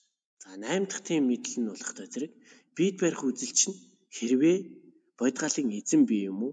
Альсвал бодгал гэж ийм зүйл байна гэж тавих тэр зүйлсэл маань бид барих үзэл буюу тэр 7 дахь тим мэдлийг тавьчих юм бол болохгүй. Хэрвээ тэгэх юм бол бодгалын эзэн бий гэдэг зүйлийг нэг түлэн зөвшөөрөх болох нь хоёрт энэ төрлөөс урд төрлөөс энэ төрөл энэ төрлөөс дараа төрөл рүү дамжаад явдаг тэр сэтгэлийн тим мэдл маань хувиршгүй болох нэ үүлийн үрийн ирэхээр хувиршдгүй нэг л одоо юм хэмжээсээр явдаг тийм зүйл болох нэ тийм учраас тийм зүйл байж болохгүй гэж үзээд 8 дахь тим мэдл буюу бодгаллын одоо бодгал гэж ийм төлөв байдалтай зүйл байна гэдгийг гаргаж ирсэн.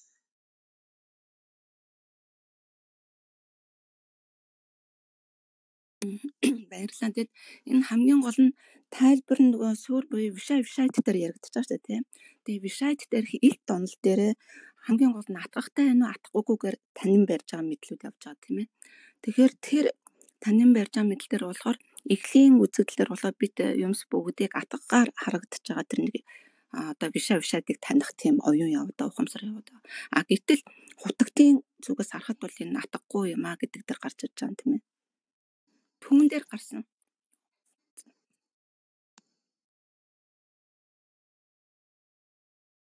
Түүн дээр гарсан гэчээд аа тэгэхээр тэр одоо дигнагагийн хамгийн гол тавиад байгаа тэр одоо янган хүнэн чанган хүнэн доторх цаад чанган хүнэн дээр тавигдж байгаа дигнагийн онол болон дарма критикийн үзэл нь яг юун дээр тулаад байгаа юм боллоо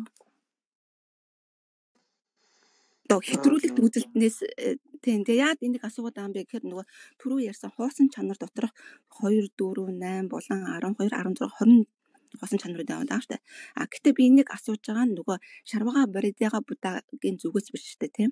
Яг нөгөө бодисатвагийн зүгээс асууж байгаа хоосон чанарын үйлчлэл нь явж байгаа байхгүй. А яа тэгэхээр сэтгэл төдийтэн дээрс чинь нөгөө янгуух чангуух хоёр гарч ирж байгаа. Дээрээс нь нэмээд тэр саяын ярьсан нөгөө тайлбар хийсэн 8 тим мэдл бас нэмэгдэж байгаа. Хоёр тим мэдлэр илүү нэмэгдэж байгаа гэсэн. Энэ дигнагийн хамгийн гол юу н дармакртэй хоёрын тэр онлууд дээр тайлбар дээрээ та нар дараа одоо яг чухам тэр хоосон чанар талаас чангуух нэгэн тал дээрээс яг онлыг нь цандин гэдэг юм яг ямар утганд нь тавьд юм болоо гэдэг нэг асуух гэсэн. За юу гэдэг чангуу хүнэн буюу яг хоосон чанар гэж яриад байгаа юу сэтгэл төдийдний чангуу хүнэн гэдэг юм маань яг ямар зүйлийг хэлээд байна гэх гэдэг шүү дээ. Тэгна болон аа тэр хоёр юу хэлээд байна гэхлээр зэрэг ухамсарын орон буюу ухамсараас бусад зүйлс болон ухам тухайн зүйлсийг танин мэдэж байгаа ухамсар хоёр тус тусынхаа мөн чанараас бүтээгүй юм а гэдэг нь сэтгэл төдийдний хамгийн эцсийн таалал буюу хоосон чанар нь байна гэж хэлэх гээд. Нэг хоёрт бол юу гэж хэлэх гээд байна гэхээр зэрэг саад тэр орон ухамсар хоёр маань хоёулаа яагаад нэг мөн чанартай байгаад яагаад ухамсарын мөн чанартай болоод байгаа юм бэ гэхээр зэрэг ухамсар гэдэг маань тэргүүлшгүй цагаас хойш нэг бодгалаас нөгөө бодгал руу урд төрлөөс энэ төрөл рүү энэ төрлөөс дараа төрөл рүү дамжиж явсан юм байна. Тийм учраас тэр ухамсар ингээд дараа дараачийнхаа зүйлсийг одоо үүлийн үрийн ирэхээр бий болгох тийм хөрөнгө тэр ухамсарт байна. Жишээлбэл ширээнд юм уу одоо гадны одоо дүрс үзэгдэлт бол ухамсараас хэрвээ хамааралгүй ухамсарын мөн чанартай биш болвол тухайн одоо тэр дүрсэнд ч юм уу дүрсэнд дараа дараачихын одоо зүйлийг одоо төрүүлэх тийм хүч гэдэг юм хөрөнгө нь баахгүй байна. Яагаад гэвэл тэр бол одоо тодорхой хугацаанд байжгаад эвдрээд алга болчихжээ. Дахиж сэргэж төрөх боломж байхгүй байна. Дахиж сэргэж төрөх боломжтой зүйл юу вэ гэхээр ухамсар байгаа юм байна. Тийм учраас бүх зүйл ухамсарын мөн чанартай болох нэ. Тийм учраас бүх зүйл ухамсарын мөн чанартай байгаа учраас гадны юмс бол ухамсар хоёр тус тусдаа мөн чанар бүтээгүү ганцхан ухамсарын мөн чанараас бүтсэн юм байна. Тийм учраас тус тусынхаа мөн чанараас бүтээгүү гэдэг нь бол хоосон чанар юм байна гэж ингэж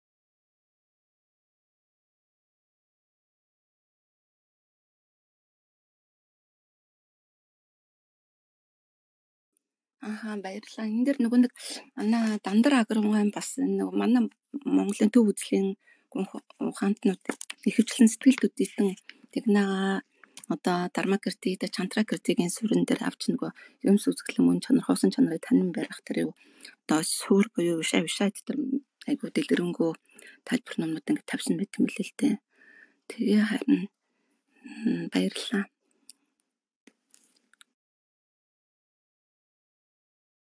баярлалаа. Энэ нөгөө буддын шашин соёлын тайлбар тойл гэдэг нэг тойл байдаг. Тэрэн дээр энэ тим мэдхүү, тим мэдхүү 8 чуулган гэдэг Аста Вижнана гэдэг. За тэгээ энүүн дээр нөгөө эхний 6-аг бол хамрын хэлний, биеийн, нүдний, чихний сэтгэлийн гिचээд 7 дахь нь болохоор Нисваны систем мэдхүү 8 дахь нь болохоор хотол шүдэний шүтэний тим мэдхүү гэд ингээд нэрлэлсэн байгаа байхгүй. Тэгэхээр өөрөө чи ярьж байгаатай бол ойролцоо ойролцоо явахаа ингэж өөрөөр л нэрлэлсэн байна л да. Англиэн. Тэгэхээр энэ энэ нэр томьёогоор явахаар саяны асуусантай ч бас жоох ойролцоо мол гэж л би зүгээр тэгж таамаглаад байна шүү тийм ээ. Тэгэхээр долоотх нь болохоор Нисванист тийм эдхүү гэдэг чинь одоо бас л гүйцэд гэгэрүүл гэсэн үг шүү дээ тийм ээ. Энэ энэ дээр юу чинь нөгөө хоосон чанарыг оноход Нисвансны төвтөр болон мэдгтүндийн төвтөр хоёрыг онохгүй болохгүй гэдэг дээр энэ төрөв тайлбар явсан шүү дээ. Нисвансын төвтөрний юм бэ мэдгтүндийн төвтөр. А энэ дээр яг зөв хиллэгийн одоо юу гэдэг одоо миний уншиж байсан энэ номнууд болохоор дээр үгийн манай одоо маш сайн зохиолч одоо найруулж бичсэн хууч Монголоос энэ төр бичсэн номнууд байгаа болохоор яаж ч энэ дээр түрүү бас хэлсэн одоо бодголын бие үгүй болон юмс үзэгдлийн гэж тэгдэсэн. Аа тэрнийг болохоор энэ дээр болохоор номын бие үгүй гэж мэлдэ намтай хүнд одоо бидний игэл бодголд байх хоёр бие нэг нь бодголын бие үгүй нөгөөт нь номын бие үгүй гэсэн хоёр. Тэгэхээр яг жоохон жоохон нэр томьёоны талаас бол жоохон өөрчлөлттэй зүйлүүд бол гарч ирсэн л таа. Тийм байна. Тэгээд 8 дахь нь болохоор хотол шүтээний тим мэдхүү гэж юм тийм ээ. Тийм хотол шүтээний тим мэдхүү гэдэг айгуул бодвол нөгөө одоо миний ойлгосноор бол атгаг үгүй нэг юмс үсгэлэн мөн чанарыг онсон атгагүй сэтгэлэр энэ чинь хамгийн гол нь сэтгэл явж байгаа ухамсар явж. А тэр ухамсар өөр атгахтай байна атгагүй байна гэдгээс шалтгаалаад бидний юмс үзэгдлийн мөн чанарыг таньж чадахгүй байгаад байгаа шүү. Тэгэхээр ертөнь хутагтын яг цаад мөн чанар нь юм гэхээр юмс үзэгдлийн атгагүй сэтгэлээр танин барьсан тэр зүйлсийг л одоо уг нь бид нар унах хэрэгтэй юм л да. Тэгэхээр тэр нэг атгахтай атгахгүйгээр нь ялгаад байгаа юм л тэл гэж би ойлгосон шүү. Тийм л юм шиг байна. Бас тэгжил би бол бас тэгжил хараад байна. Тэгээ энэ дээр бас хамгийн гол нь нөгөө бас хэний одоо саж гунгаж алцангийн нэлээ их тайлбаруудыг татан авсан битэртэй тийм хамгийн гол нь тэр нөгөө вебсайт вебсайт дээр ороод ирэх хүмүүс вебсайт дээр чинь хамгийн гол нь бид нар яаж тэр илт мэдлэг олох гэдэг юм бэ? Илт мэдлийн ухамсар гэдэг чинь юу юм бэ гэдгийг л баш нарийн гаргаж ирсэн байгаа шүү тий. Тэрнийг танихгүйгээр бид нар одоо эн чинь нэгсэндээ юун дээр болохоор хэтрүүлэгт төв үзэлтэн дээр нөгөө бүдүүн сэтгэл, нарийн сэтгэл, машин нарийн сэтгэл энэ гурван сэтгэл эр бид нэр юмсыг барьж авдаг. Бид нар бүдүүн сэтгэлээр таньж барьж байгаа боловч бүдүүн сэтгэл а тэгээд шарваага барьдяга будаанаар болохоор нарийн сэтгэл дээр тэр түрүү ярьсан тэр юм дээр ямар нэгэн юмс объект байна тэрнийг харж байгаа тэр нэг одоо бид нар нүдний мэдлэлээр авсан тэр ухамсар а түүний цаана байгаа мөн чанарын ухамсар хоёр дээр түүнийг шууд илт мэдлэр таних ухамсар гэж явж байгаа шүү тий. Эсвэл одоо энэ ширээ байна гэж бид нар ч объектыг шууд харангуйтаа энэ ширээ л гэж зөвхөн нэр томьёоны төдийд ингэ ширээ гэж нэрлэж байгаа болохоос биш цаад мөн чанарын нутгаас нь л таньж чадахгүй байгаа шүү дээ. Яг түүн шиг одоо нэр томьёоны зүйл дээр бас жоохон жоохон орчин цаг одоо сүүлийн үед дээр жоохон өөрчлөлтүүд байгаа болов уу гэж ажиглал хараалаа л да. Тэгэхээр түрүү чинь өөр жилээдсэн тэр 8 дахь худагтын юу гэсэн те ухамсар гэж хэлээд байгаа чинь минийх бол энэ ном дээр уншиж байгаагаар бол атгахгүй атгахгүй ухамсарыг танин барьсан хутагтын гэдэг юм уу. Үнэн одоо хоосон чанар бол ямар байх вэ гэдгийг л тайлбарлаад байна л гэж болгосон шүү дээ. Тийм тийм. Хотол шүтэнэ гэдэг юм. Тэгээд энэ нь болохоор нэг нэг гурван юутай холбоотой болчиход байгаа шүү дээ. Энэ сэтгэл төдийдөнд яриад байгаа гурван бэлэг чанар гэж яриад байгаа шүү дээ. Тэгээ нэг нь болохоор түрүүн ярьсан хотол нэр итгэлийн бэлэг чанар. Хоёр дахь нь болохоор бусдын эрхийн бэлэг чанар. А гурав дахь нь болохоор огоот бүтсний бэлэг чанар гэдэг байгаа байхгүй юу? Тийм. Тэгээд энэ гурав дээрээ суйрлал үндсэндээ хоосон чанараа ярьчихж байна гэж би ойлгоод байгаа шүү дээ, тийм ээ. Тэгээ энэ дэр бас нэг асуулт гарч ирээд байгаа маа. Ерөнхийн нэг зүгээр нэг тийм юу гэдгийг сонирхсан асуулт. Одоо ингээд сэтгэл төдийтэн бол сэтгэлээс бүх юм үүдэлтэй сэтгэл сэтгэл бол одоо суурин юм а сэтгэл суурьтай гэдэг ингээд яриад байгаа. Тэгсэн мөртлөө одоо яг бодитоор оршиж байгаа гэж бас яриад байгаа шүү дээ тийм ээ. Тэгэхээр энэ хоёрыг одоо за одоо хоёр үгүй гэдэг байгаа тийм ээ. За одоо сэтгэл гадна талын юмс үзэгдэл бол энэ тустай юм биш юм аа нэг юм аа гэдэг ингээд нэг хэлчихэж байгаа тийм ээ. Тэгсэн мөртлөө бодит юм оршдог юм өгөхөр оршдгоо гэд хэлээд байдаг гэдэг шүү дээ. Энэний нэг ер нь яаж тайлбарлах юм бэ? Энэ нас айгүй сонирхолтой яг энэ дээр нэмээд асуухад нөгөө байгаа байхгүй би би үгүй гэж юу явдаг ч нөгөө нагарч унаа унал дээр ч гэсэн хамгийн гол нь нөгөө нагарч унаа 8 хаалт явдаг.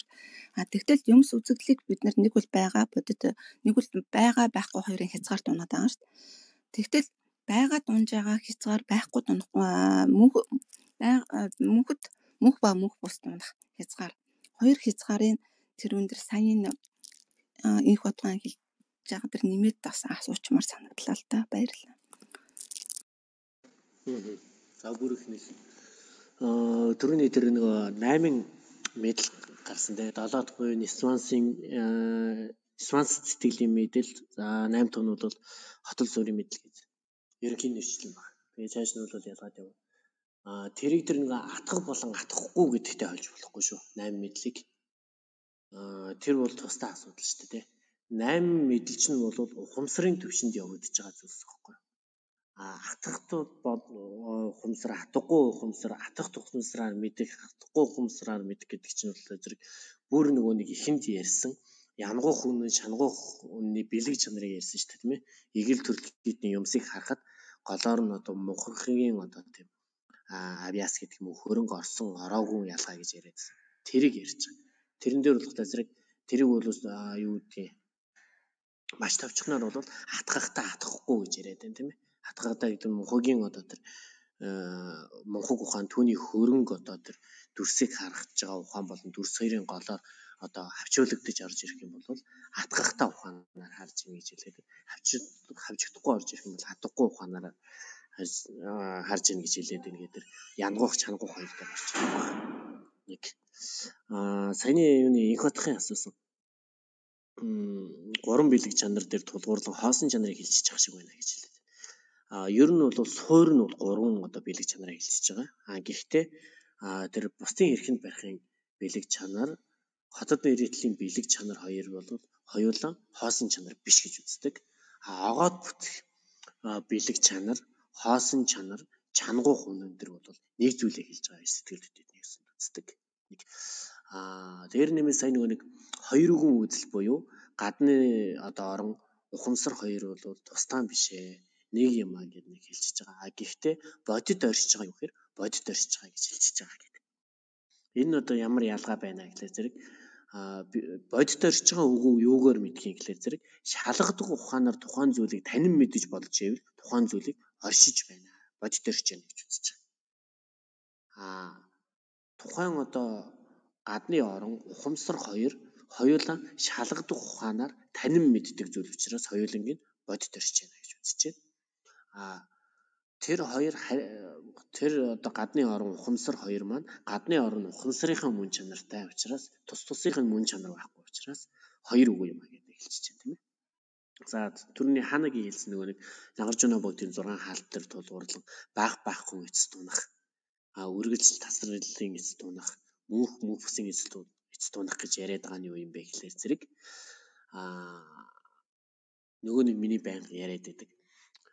Бага энэ оршиж байгаа юм а гэж хэлэх нь тухайн зүйлийг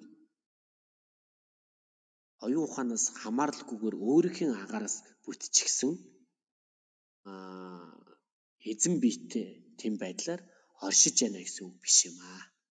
Аа альва нэгэн зүйл ухамсарын мөн чанараас ангид аа тэгээд одоо түрүүн удаа ханаа хэлээдсэн аа номын эзэн бие гэж хэлээд байгаа шүү дээ. Юмсын эзэн бие. Тэр юмсын эзэн бие оршоогүй тийм одоо эзэн бие баахгүй гэж хэлэх төдийд тухайн зүйлийг баахгүй гэж хэлж байгаа юм биш ээ. А тухайн зүйлийг одоо юу гэдгийг эзэн бие төдийд баахгүй гэж хэлж байгаа тухайн зүйлийг баахгүй гэж хэлж байгаа юм биш. А яа тэгэхээр тухайн зүйл бол шалгах ухаанаар танин мэдж байгаа учраас байгаа. А гэхдээ эзэн бие нь байхгүй. А гэхдээ тухайн зүйлийг байна гэж хэлж байгаа нь шалгах ухааны үүднээс нотлон байна гэж хэлж байгаа. А гэхдээ тухайн зүйлийг байна гэж хэлж байгаа тухайн зүйлийн эзэн бие байна гэсэн үг биш. Тухайн зүйлийг байна гэдэг байна буюу тухайн зүйл оршиж байна гэдгээр нь эзэн бие нь байна гэж үзэж явах юм бол одоо байхын эц буюу үргэлж мөнхийн эц дуулж байгаа. А тухайн зүйлийн эзэн бие нь баахгүй байна гэснээр тухайн зүйлийг огт баахгүй оршихгүй байна гэж үзчих юм бол тасрахын эц буюу одоо баахгүй эц рүү үзэж байна гэж үзэж шүү дээ.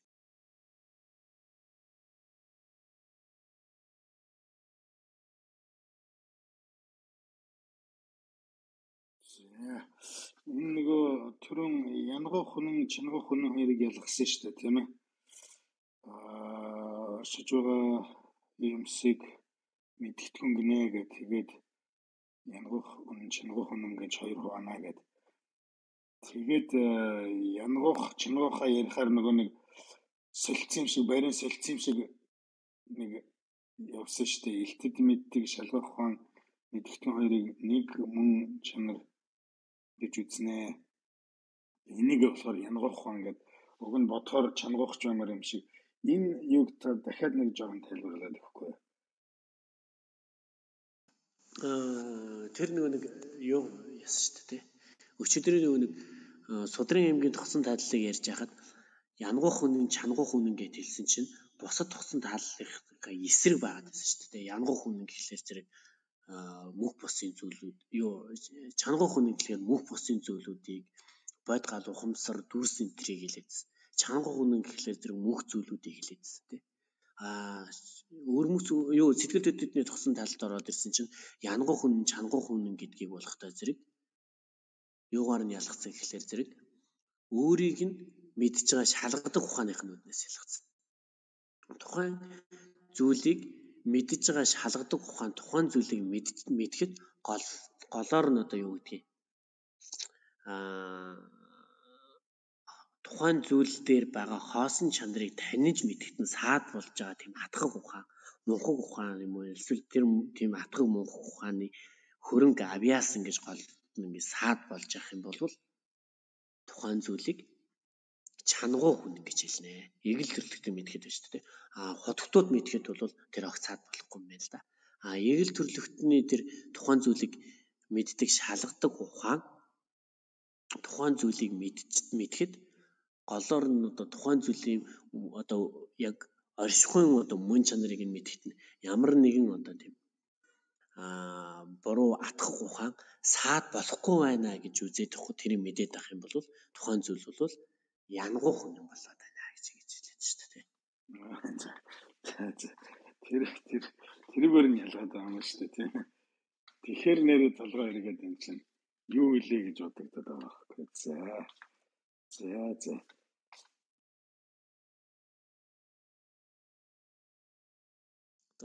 Та нар нэг юм ярьсан бол энэ анзаарсан бол янгох хүн чангах хүн хоёр ингээ бүр нарийсаал яваад байгаа өөрмөц өгүүлэгчийн ёсонд янгуу хүнэн чангуу хүнэн гэж одоо нэр томьёо бол гарахгүй байсан шүү дээ. Гэтэ ер нь бол нэг юу гэдгийг хоригдохууны зүйлүүдийг чангуу хүнэн бүтгэдэгхүүний зүйлүүдийг янгах хүнэн гэсэн маягаар яваад ирсэн болвол Судрын аймгийн ёсонд ороод ирсэн чинь эвдэрч хувьсдаг мөнх бос зүйлийг чангуу хүнэн мөнх зүйлүүдийг янгуу хүн ч гэдэг юм тий. А араа нарийн төвшөнд байсан бол өвөр сэтгэл төдийдний ёсон зориод ирсэн чинь бүр ухамсараар тухайн орныг мэдэх явцад голд нь өөр ямар нэгэн одоо буруу ухаан хавчуулагдаж ийн үгүй юу гэдгээр ялгагдана гэдэг ингээд ингээд нарийсаа явж шүү дээ.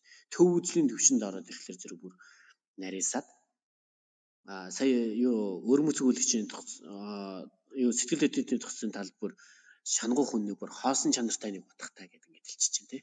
А гэхдээ бол өөрийг нь мэддэг шалгах ухааных нүднээс ялгах эхэлж байна. Төв үзлийн төвшөнд очихлоор зэрэг чангуу ухаан гэдэг маань бүр нарийсаад чангуу ухаан гэж юу хэлхийг гэхээр хоосон чанарыг хэлнэ. Хоосон чанарыг юу хэлхийг гэхээр саяны нэг хоёр үгэн үзэл энэ төр чинь байхгүй болоод бүр нарийн төвшөнд юмсын эзэн бие үгэн үзэл гэдгээ юу гэдэг ямар нэгэн зүйлийг шалгадаг ухааны үүднээс шинжилж үзэхэд эзэн би баахгүй байна гэж ямар нэгэн юм торхгүй торхгүй боловч тухайн зүйлийн оршихуй дээр нь нэрийцэн төдийд оршиж байгаагүй бол чангуу хүн ингэж хэлдэг гэх мэтэр ингээ бүр ингээ нарийсаад яваад байгаа анзаарэгдэж байгаа.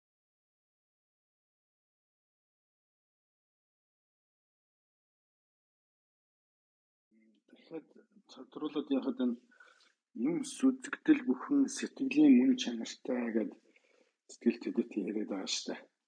За энэ өөрсдийнх нь одоо яг байр сууриас гэдэм өнцгөөс харахад одоо яг сэтгэл төдөтийн хүний өнцгөөс харах юм бол юмс бүхэн сэтгэл дээр суурилсан байна.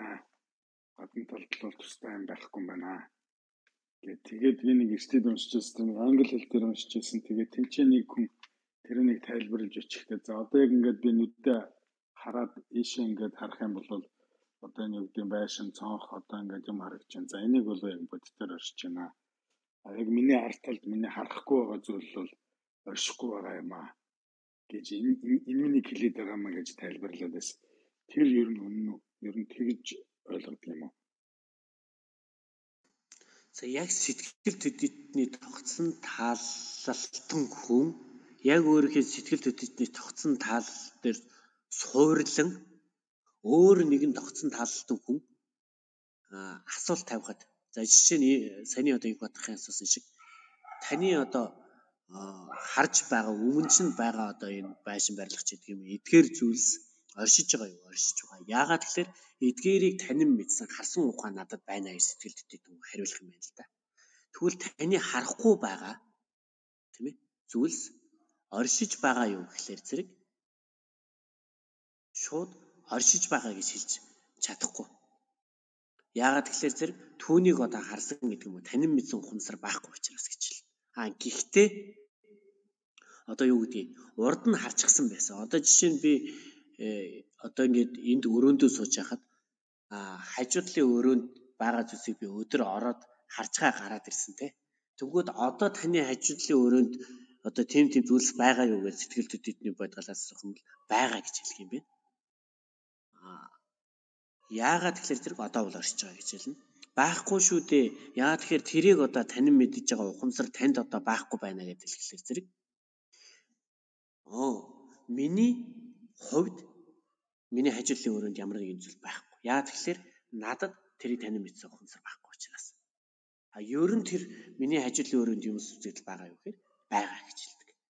Яг тэр шиг миний ард байгаа зүйлс одоо сэтгэл дэдитэн хүний хувьд яг өөрийнх нь ард байгаа зүйлс өөрийнх нь хувьд байгаа юу гэхээр байхгүй. А ер нь байгаа юу гэхээр байгаа гэж хэлдэг. Нэг юм юу гэдгийг нийтлэг болон ялгамжаат гэсэн юм ялбар гаргаж гаргалгаа гараад байгаа шиг гаргалгаа гаргаж явах шиг харагдаад байна. Тэгээд тэгэл тэгээд би анхан ер нь тэгэл би тэгэл одоо сэтгэл төдөд оршоод байгаа маа гэдгийг л тэгж хилээд байгаа юм болов гэж бодож байгаа шүү дээ. За одоо жишээл би урагшаа харахад ингээд за одоо манай байшингийн хан маань одоо ингээд зураг хөрөг ингээд юм харагчин. За энэ л бодит яг харж байгаа нүдний ухаанаар харж байгаа ингээд байгаа. А гэтэл миний ардлын ханд юу байгааг би мэдж байгаа. А тэгвэл миний мэдл бол яг нөгөө нүдний ухаанаар биш зөвхөн одоо нөгөө нэг одоо юу гэдэг ой ухаанд сэтгэлд байгаа л болж тараад байгаа байхгүй. Тийм учраас л сэтгэл төдийт ингэж нэрлээд байгаа юм уу? гэж бодох гээд байгаа шүү дээ. Энэ одоо бас зөв тайлбар уу буруу тайлбар? Ер нь бол зөв тайлбар.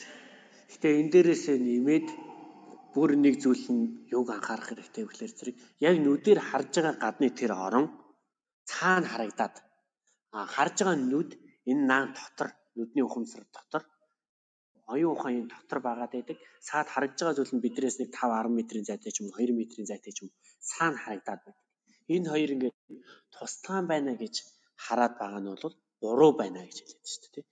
Ягаад тэгэхээр тэр цаана 2 метрийн цаана байна уу 20 метрийн цаана байна уу хамаагүй цаана харагдаж байгаа орон маань наан харж байгаа ухамсарынхаа нэг хэсэг нь юм а гэж үзээд тэгээд тэрийг ухамсарын буюу сэтгэлийн мөн чанартай байна гэж ингэж үзээд байна шүү дээ. Нөгөө талаас.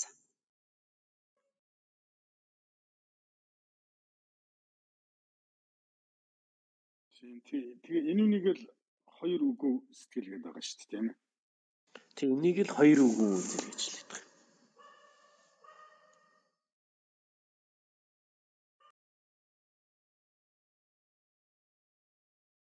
Тэгээд хоёр үгөө хоёр үгүй үзэл гараад ирэнгуут л бүх зөрчил арилна.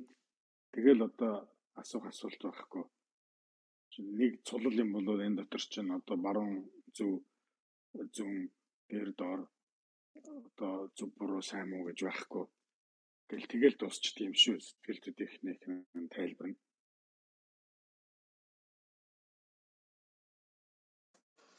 Тэг хоёр үгэн гэдэг зүйлийг л тань мэдчих юм болвол ямар нэгэн зүйлд ач хэтэрхийлэн ач холбогдол өгж хатгах бодолд хүрэхгүй болчих юм байна. Үйлнээс нь сураахгүй болчих юм байна. Үйлнээс нь сураахгүй хатгах бодолд төрөхгүй болчих юм болвол нөгөө хоёр үгэн үзлийг онсон бэлэн ухаанаа одоо юу гэдэг бод сэтгэлтэй ч юм уу гэгэрлийг олё гэсэн тийм ухамсартай хослуулан бясалгах одоо даадуулаад гэгэрэл төрөх юм байл гэж ойлгоод шүү дээ.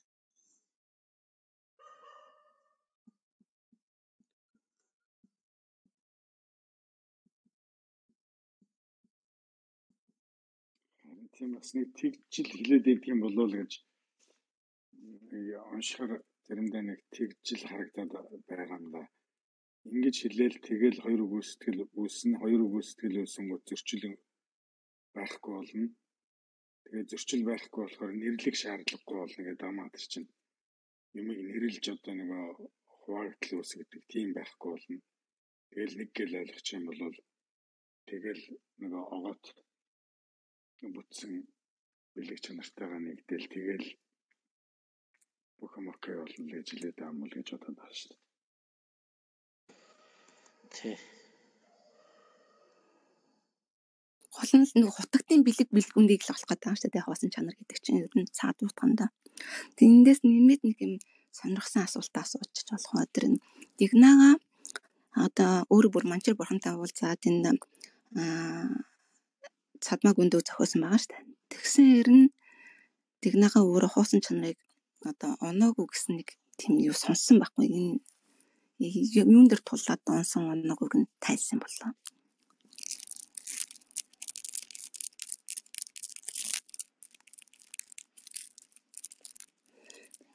Энэ юу шүү дээ. Дигнага өөрөө сэтгэл хөдлөлтийн гонхон оноо гэж нэг яриа байдаг. Гэтэн бол Дигнага бол өөрөө одоо сэтгэл хөдлөлтний тогтсон тааллыг өөрөө хүлээн зөвшөөрсөн, онсон сэтгэл хөдлөлтний тогтсон тааллын ёсоор бодисатва болсон гэж үзээд байгаа шүү. Анаагүй гэдэг нь юу гэж үзээд байгаа гэхээр Дигнагийн өөрийнх нь намтар дотор нь байдаг шүү дээ. Анх нөгөө нэг гэрээс гараад тойм болоод нэг багштай болсон чинь тэр багш нь өвөрмөц өгүүлэгчийн тогтсон тааллыг таалалтанд тийм багштай таарсан.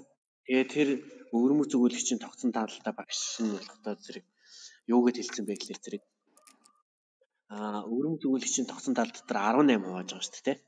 Тэр 18 хувааж байгааг мангу гүрвийн дэва гэдэг аа миний ихтэй яриад байсан аа нэг тийм хэсэг 5 одоо тийм аймаг байдаг. Тэр 18-ийн тэр 5 нь болохдоо зэрэг өглөөр зэрэг а бод галын эзэн бий байна. А тэр байгаа эзэн бий нь бод галын цогцтой нэг мөн чанартай а тусдаа зүйлээ гэж ингэж үздэг.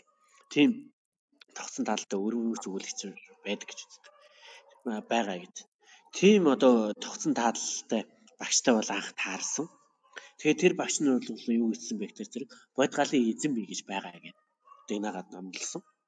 Тэгсэд дэглаагаа болох та зэрэг тэрийг нь бод галын эзэн гэж байгаа юм бол тэрийг нь олъё гэж хайгаад тэгээ нэг өдөр багшигаа багш нь хүрээд ирсэн чинь бүх уцаан тайлаа шидчихсэн гэр тодрох бүх юмаа гаргаад хайчихсан ингээд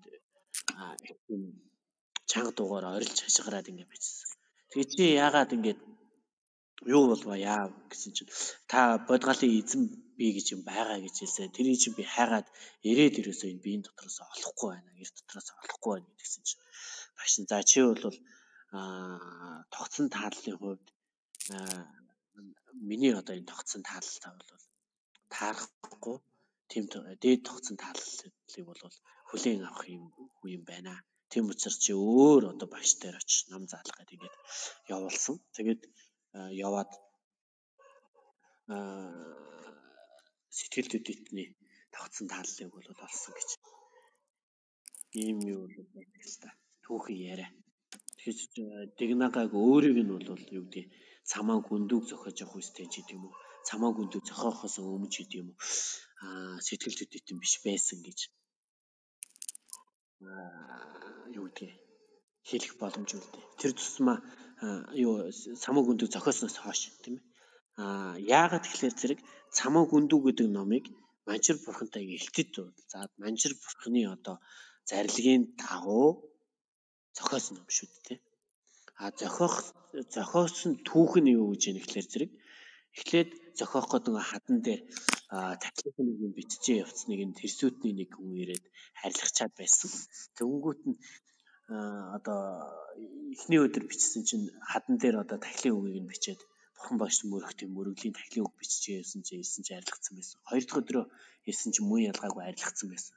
Гурав дахь өдрөө бол дэгнага а одоо тэр агуугаас гараад одоо Винват буюу өдрийн хоол байх гай явах та. Тахилын үг нь биччихээ явах гэж найдлагчаад байсан юм. Тэгвэл 3 дахь өдөр нь бол тахилын үг нь биччихээ доор нь одоо би энэ номыг зохиох нь бол амтны тусын тулд маш хэрэг ихтэй байгаамаа. Хэрвээ чи одоо юу гэдэг одоо энэ номыг зохиоход одоо саад ийм бэрхшээл одоо болоё гэж байгаа бол одоо надтай илтэд уулзаад одоо мэтгэлцээ хий гэж. Одоо надтай мэтгэлцээг хүсчихвэл намайг одоо эргээд ирэхэд хүлээгээд байжээ гэж хэлсэн. Тэгээд аа тэгнагааг одоо Вянвад барьчаад ирэхэд нь бол тэрсүүдний нэг мэрэгэн тийм сайн одоо олонд одоо халдсан тэрсүүтэн тийм хүн бол хүлээгээ сууж байсан. Тэгээд тэр хоёр ном мэтгэлцээд тэгнагаа ялсан. Тэгээд тухайн үед бол ном мэтгэлцээд а ялагдсан ялсантай шав орох хэрэгтэй байтал а тэр тэрсүүдний тогсон таалалтай хүн бол дэгнагаа шав орохгүй гэж уурлаад амнаасаа гал гаргасан. Амнаасаа гал гарахт нь бол дэгнагаа ингээд агаар төөрсөн ба. Тэгтэн агаар төрөхт нь амдах галаа үлээгээд номынх нь хувцас ингээд орсон шаттаачихсан гэж. Тэгээд дэгнагаа болохтой зэрэг би одоо нэг амьтны тусыг бүтээж чадахгүй чамаг амьтны тусыг бүтээнээс энэ бодийн сэтгэлийг агуулж энэ номыг одоо зохиож болуулж чадахгүй байна. Тийм учраас би одоо бодийн сэтгэлээ орхигээд тэгээд нэг юм шулуу аваад ингээд юу гэдэг огтруулгүй ингээд дээш нь агаар төгөөргө шидэд энэ шулууг одоо буцаад газарт буух мөчд би бодийн сэтгэлээ орхино гэж хэлсэн. Тэгтэл нөгөө шулуу ингээд газар унахгүй байсан. Тэгээ яа ингээд яагаад унахгүй байна гэд ингээд дээшээ харсан чинь бол огторгууд манжир урхан илтэт морилоод тэр чулууг нь бариад ингээд байжсэн. Тэгээ чи бол бодийн сэтгэлээ орхиж болохгүй. Бодийн сэтгэл гэдэг бол одоо хамгийн дээд эрдний юм сэтгэл юм. А чи энэ номоо бол зохиох хэрэгтэй. Энэ ном чинь бол хойштын одоо амьдтад одоо нүд болох юм ном шүү гэж ингэж хэлсэн гэж. Энэ түүхээс харахад цамуу хүндүү гэж номыг зохиохын өмнө дэгнага бод сэтгэлтэн болчихсон байсан байна. Нэг. Хоёрт цамаа хүндүү гэдэг номыг сэтгэл төдийтний тогтсон тааллын ёсонд нийцүүлэн зохиосон байна. Хоёр. Энэ хоёрыг харьцуулаад харахад бол Дэгнаха гэдэг хүн сэтгэл төдийтэн байсан нь бол мэдэгдэж байгаа маа.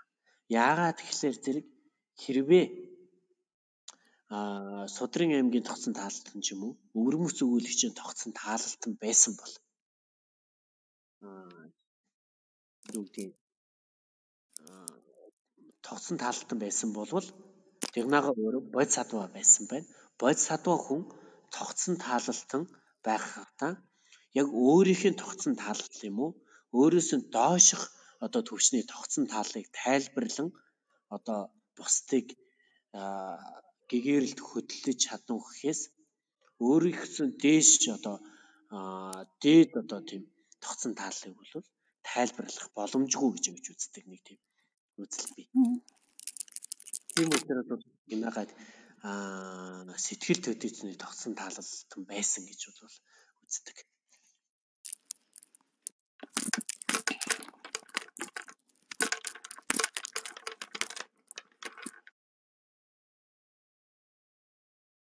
баярлалаа их сонирхолтой юу хэллээ. Тэгээд гол нь өөрийнх нь нөгөө сэтгэл төдийдний нөгөө багшаас тэр чин гарах анх уулзсан багштайгаасаа яхта тэр нөгөө би үгийг асуудаг та багшаасаа. Тэгтээ нөгөө шүн болохоор гадаа нүцгэн тэгээд өдөр нь болохоор нөгөө башин дотор ингээд бяцлаа суугаа хувцсгүй. Тэгээ би ингэж олон хоног суусан боловч нөгөө өөрийнх нь биеийг олж харсангүй гэд тэгж хэлээд чи миний үзэлд таарахгүй гэд явдаг. Тийм. Тэгэхээр хамгийн гол нь зохиосон өөрийнх нь цаад үзлэн сэтгэл төдийдөнд зориулагдсан болохоор гэсэн утганда тулж байгаа юм байна л да тий. Маш их баярлалаа. Сонирхолтой байлаа.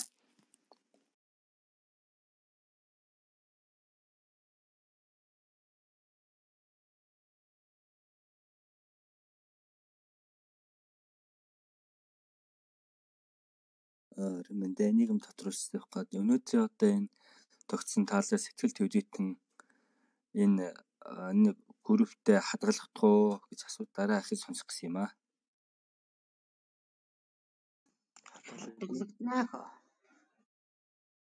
За баярлалаа. Сайхан гэгэрүүлж өгч байгаад баярлж байна. За гэгэрч байгаад нь баярлалаа. За өөр асуулт байна уу? Дороос өөр асуулт асуух хүн байна уу? Мөнхөө ирлам сайн байна уу?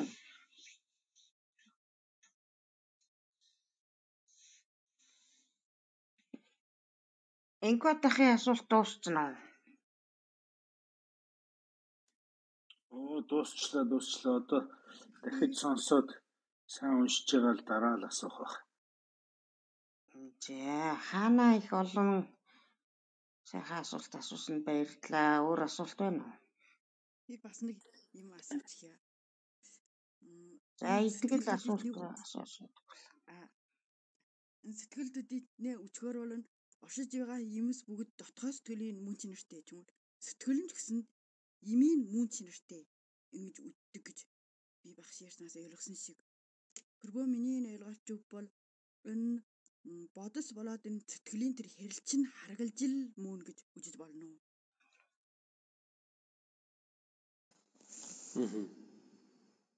Аа бодис гэдэг юм уу те гадны юмс ухамсар хоёр харгалзаж байгаа юу гэвэл нэг нэгэндээ шүтэлцэн өрсөж байгаа юу шүтэлцэн өрсөж байгаа.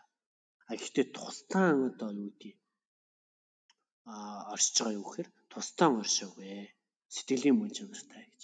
Тэгвэл яагаад одоо шүтэлцэн одоо харилцан байгаа юм бол тусдаан орших хэрэгтэй шүү дээ гэх юм бол тийм ээ гэж. Түнгүүд одоо энэ дээр юу найрсгалны үг гэж юм гэхээр бид нар нөгөө сэтгэлийн мөн чанартай гэдгээ танин мэдээгүй учраас а томьёолол нэрийдлийн үүднээс одоо гадны одоо юмс үзэгдэл одоо тийм тийм юм гэж нэрлээд ухамсарыг тийм тийм гэж нэрлээд тусад нь одоо ингэж авч үзээд тэр нь одоо харилцан орчин гэж үзэж байгаа. А тэр нэршил үгөө хоёр үгэн үзэл буюу одоо тэр гадны юм сэтгэлийн мөн чанартай юм а өөрс өөрснийхөө одоо мөн чанараас тусдаа бүтээгүй юм а гэдэг ингээд онцчих юм бол а шүтэлцэн харилцан оршиж байгаа гэхээс илүү нэг буюу одоо юу гэдгийг а ялгад өвгөө одоо юм зүйлс юм а гэж ингэж харах нь зөвөө гэж хэлэх гээд байна л да. За зүйл төр энэ гойх үнний тэлбэрлэх үед нэг хорн вийлсэн гэсэн үг гарч ирж ижээ. Хорн вийлсэн болоод мөнх жийл гэсэн. Нэг хорны хэлсэн гэсний нэг тайлбарлаж өгнө.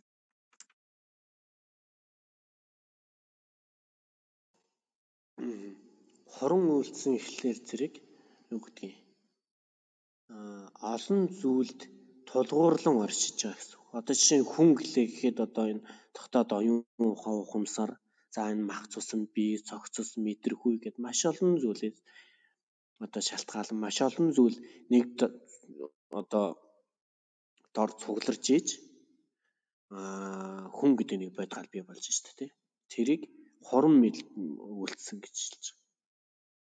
Аа өөр одоо юун дээр тулгуурлах ширээ байлаа гэж бодоход тэр ширээг одоо хийсэн одоо материал мод байт юм уу тий.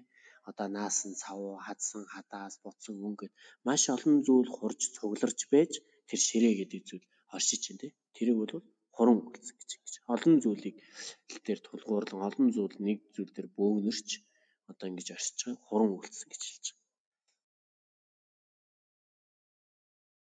За багшаа тэр нэг төвчгдүүн гэж байх бай да. Төвчгдүүн боيو нисванис тэн дотор нь будалын жин жогчийн хөрөмд бол гурав нь хор журга хорог мөтийн юмуд байна гэсэн. Журга хорог гэсний яа тэлвэрсэн яа энэ багш ярьсан тэр дутуу шиг санагдсан. Аа. Зөв юу гэж байгаа юм. Төвчхүүн төвчтгүүн дотор бол 6 одоо янзын аа юу төвчтгүүн дотор бол нисвансын төвчтгүүн, мэдтгүүний төвчтгүүн гэж хоёр байна гэсэн тийм ээ. А гэвч энэ хоёр маань аа юу гэж юм хэрэг нисвансын төвчтгүүн нь болвол бодгалын эзэн бие үгэн одоо бодгалын эзэн байна. Эзэнт барьсан, бид барьсан одоо ухамсар түүний одоо хөрөнгө авьяас мөн одоо түүн дээр тулгуурласан одоо юу гэдэг? Тулгуурласан хөрөнгө а түүний эрхээр гарсан одоо тийм 6 хор. А тэдгээрийг бол Нисвансын түүтгэр гэж хэлнэ гэсэн тийм ээ. За Нисвансын түүтгэр буюу түүний эрхээр гарч байгаа 6 хор нь юу юу гэхээр ойрын 6 Нисвансыг хэлж байгаа. За ойрын 6 Нисванс гэхлээр зэрэг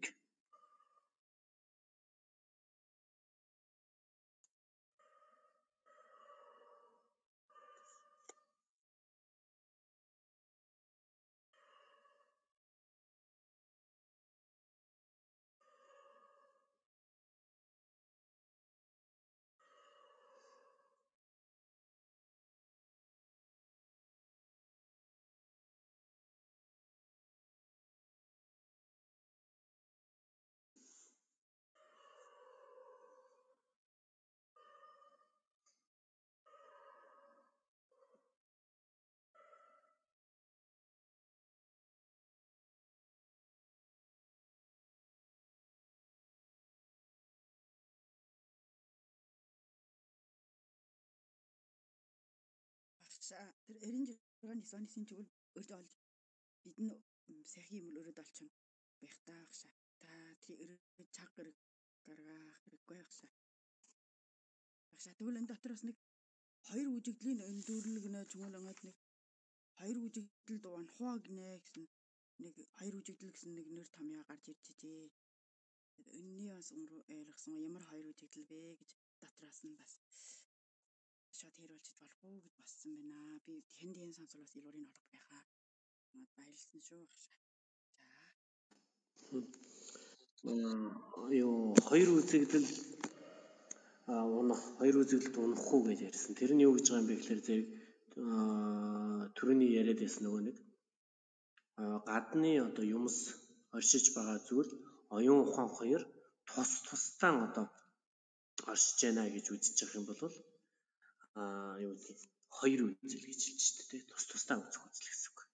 Аа хоёр үгэн үзэл гэхэлэр зэрэг гадны одоо тэр юмс оршин бүр одоо тэр орон юу гэдгийг ухамсарын одоо оюуны мөн чанартай байна гэж үзэж байгаа нь бол аа нэг одоо үзэл болж шүү дээ. Тэрийг болохтой зэрэг хоёр үгэн үзэл гэж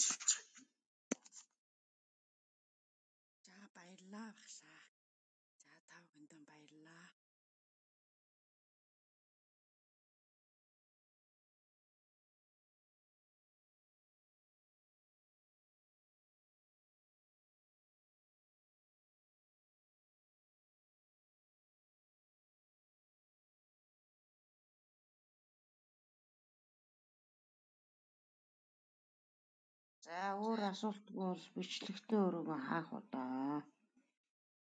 Яах вэ? Маш их баярлалаа. За та бүхэнд ч гэсэн их баярлалаа. Ингээд сайхан ном сонссон та бүхнийхээ буян даан баясъя. Тогтсон таллын тухай айлдж байгаа лам ан зөрөгтэй бас талархъя. Та бүгдийн буян үнэн мөнгө дэлгэрч хамаг амтны тусыг үдэг болтугай. Баярлалаа.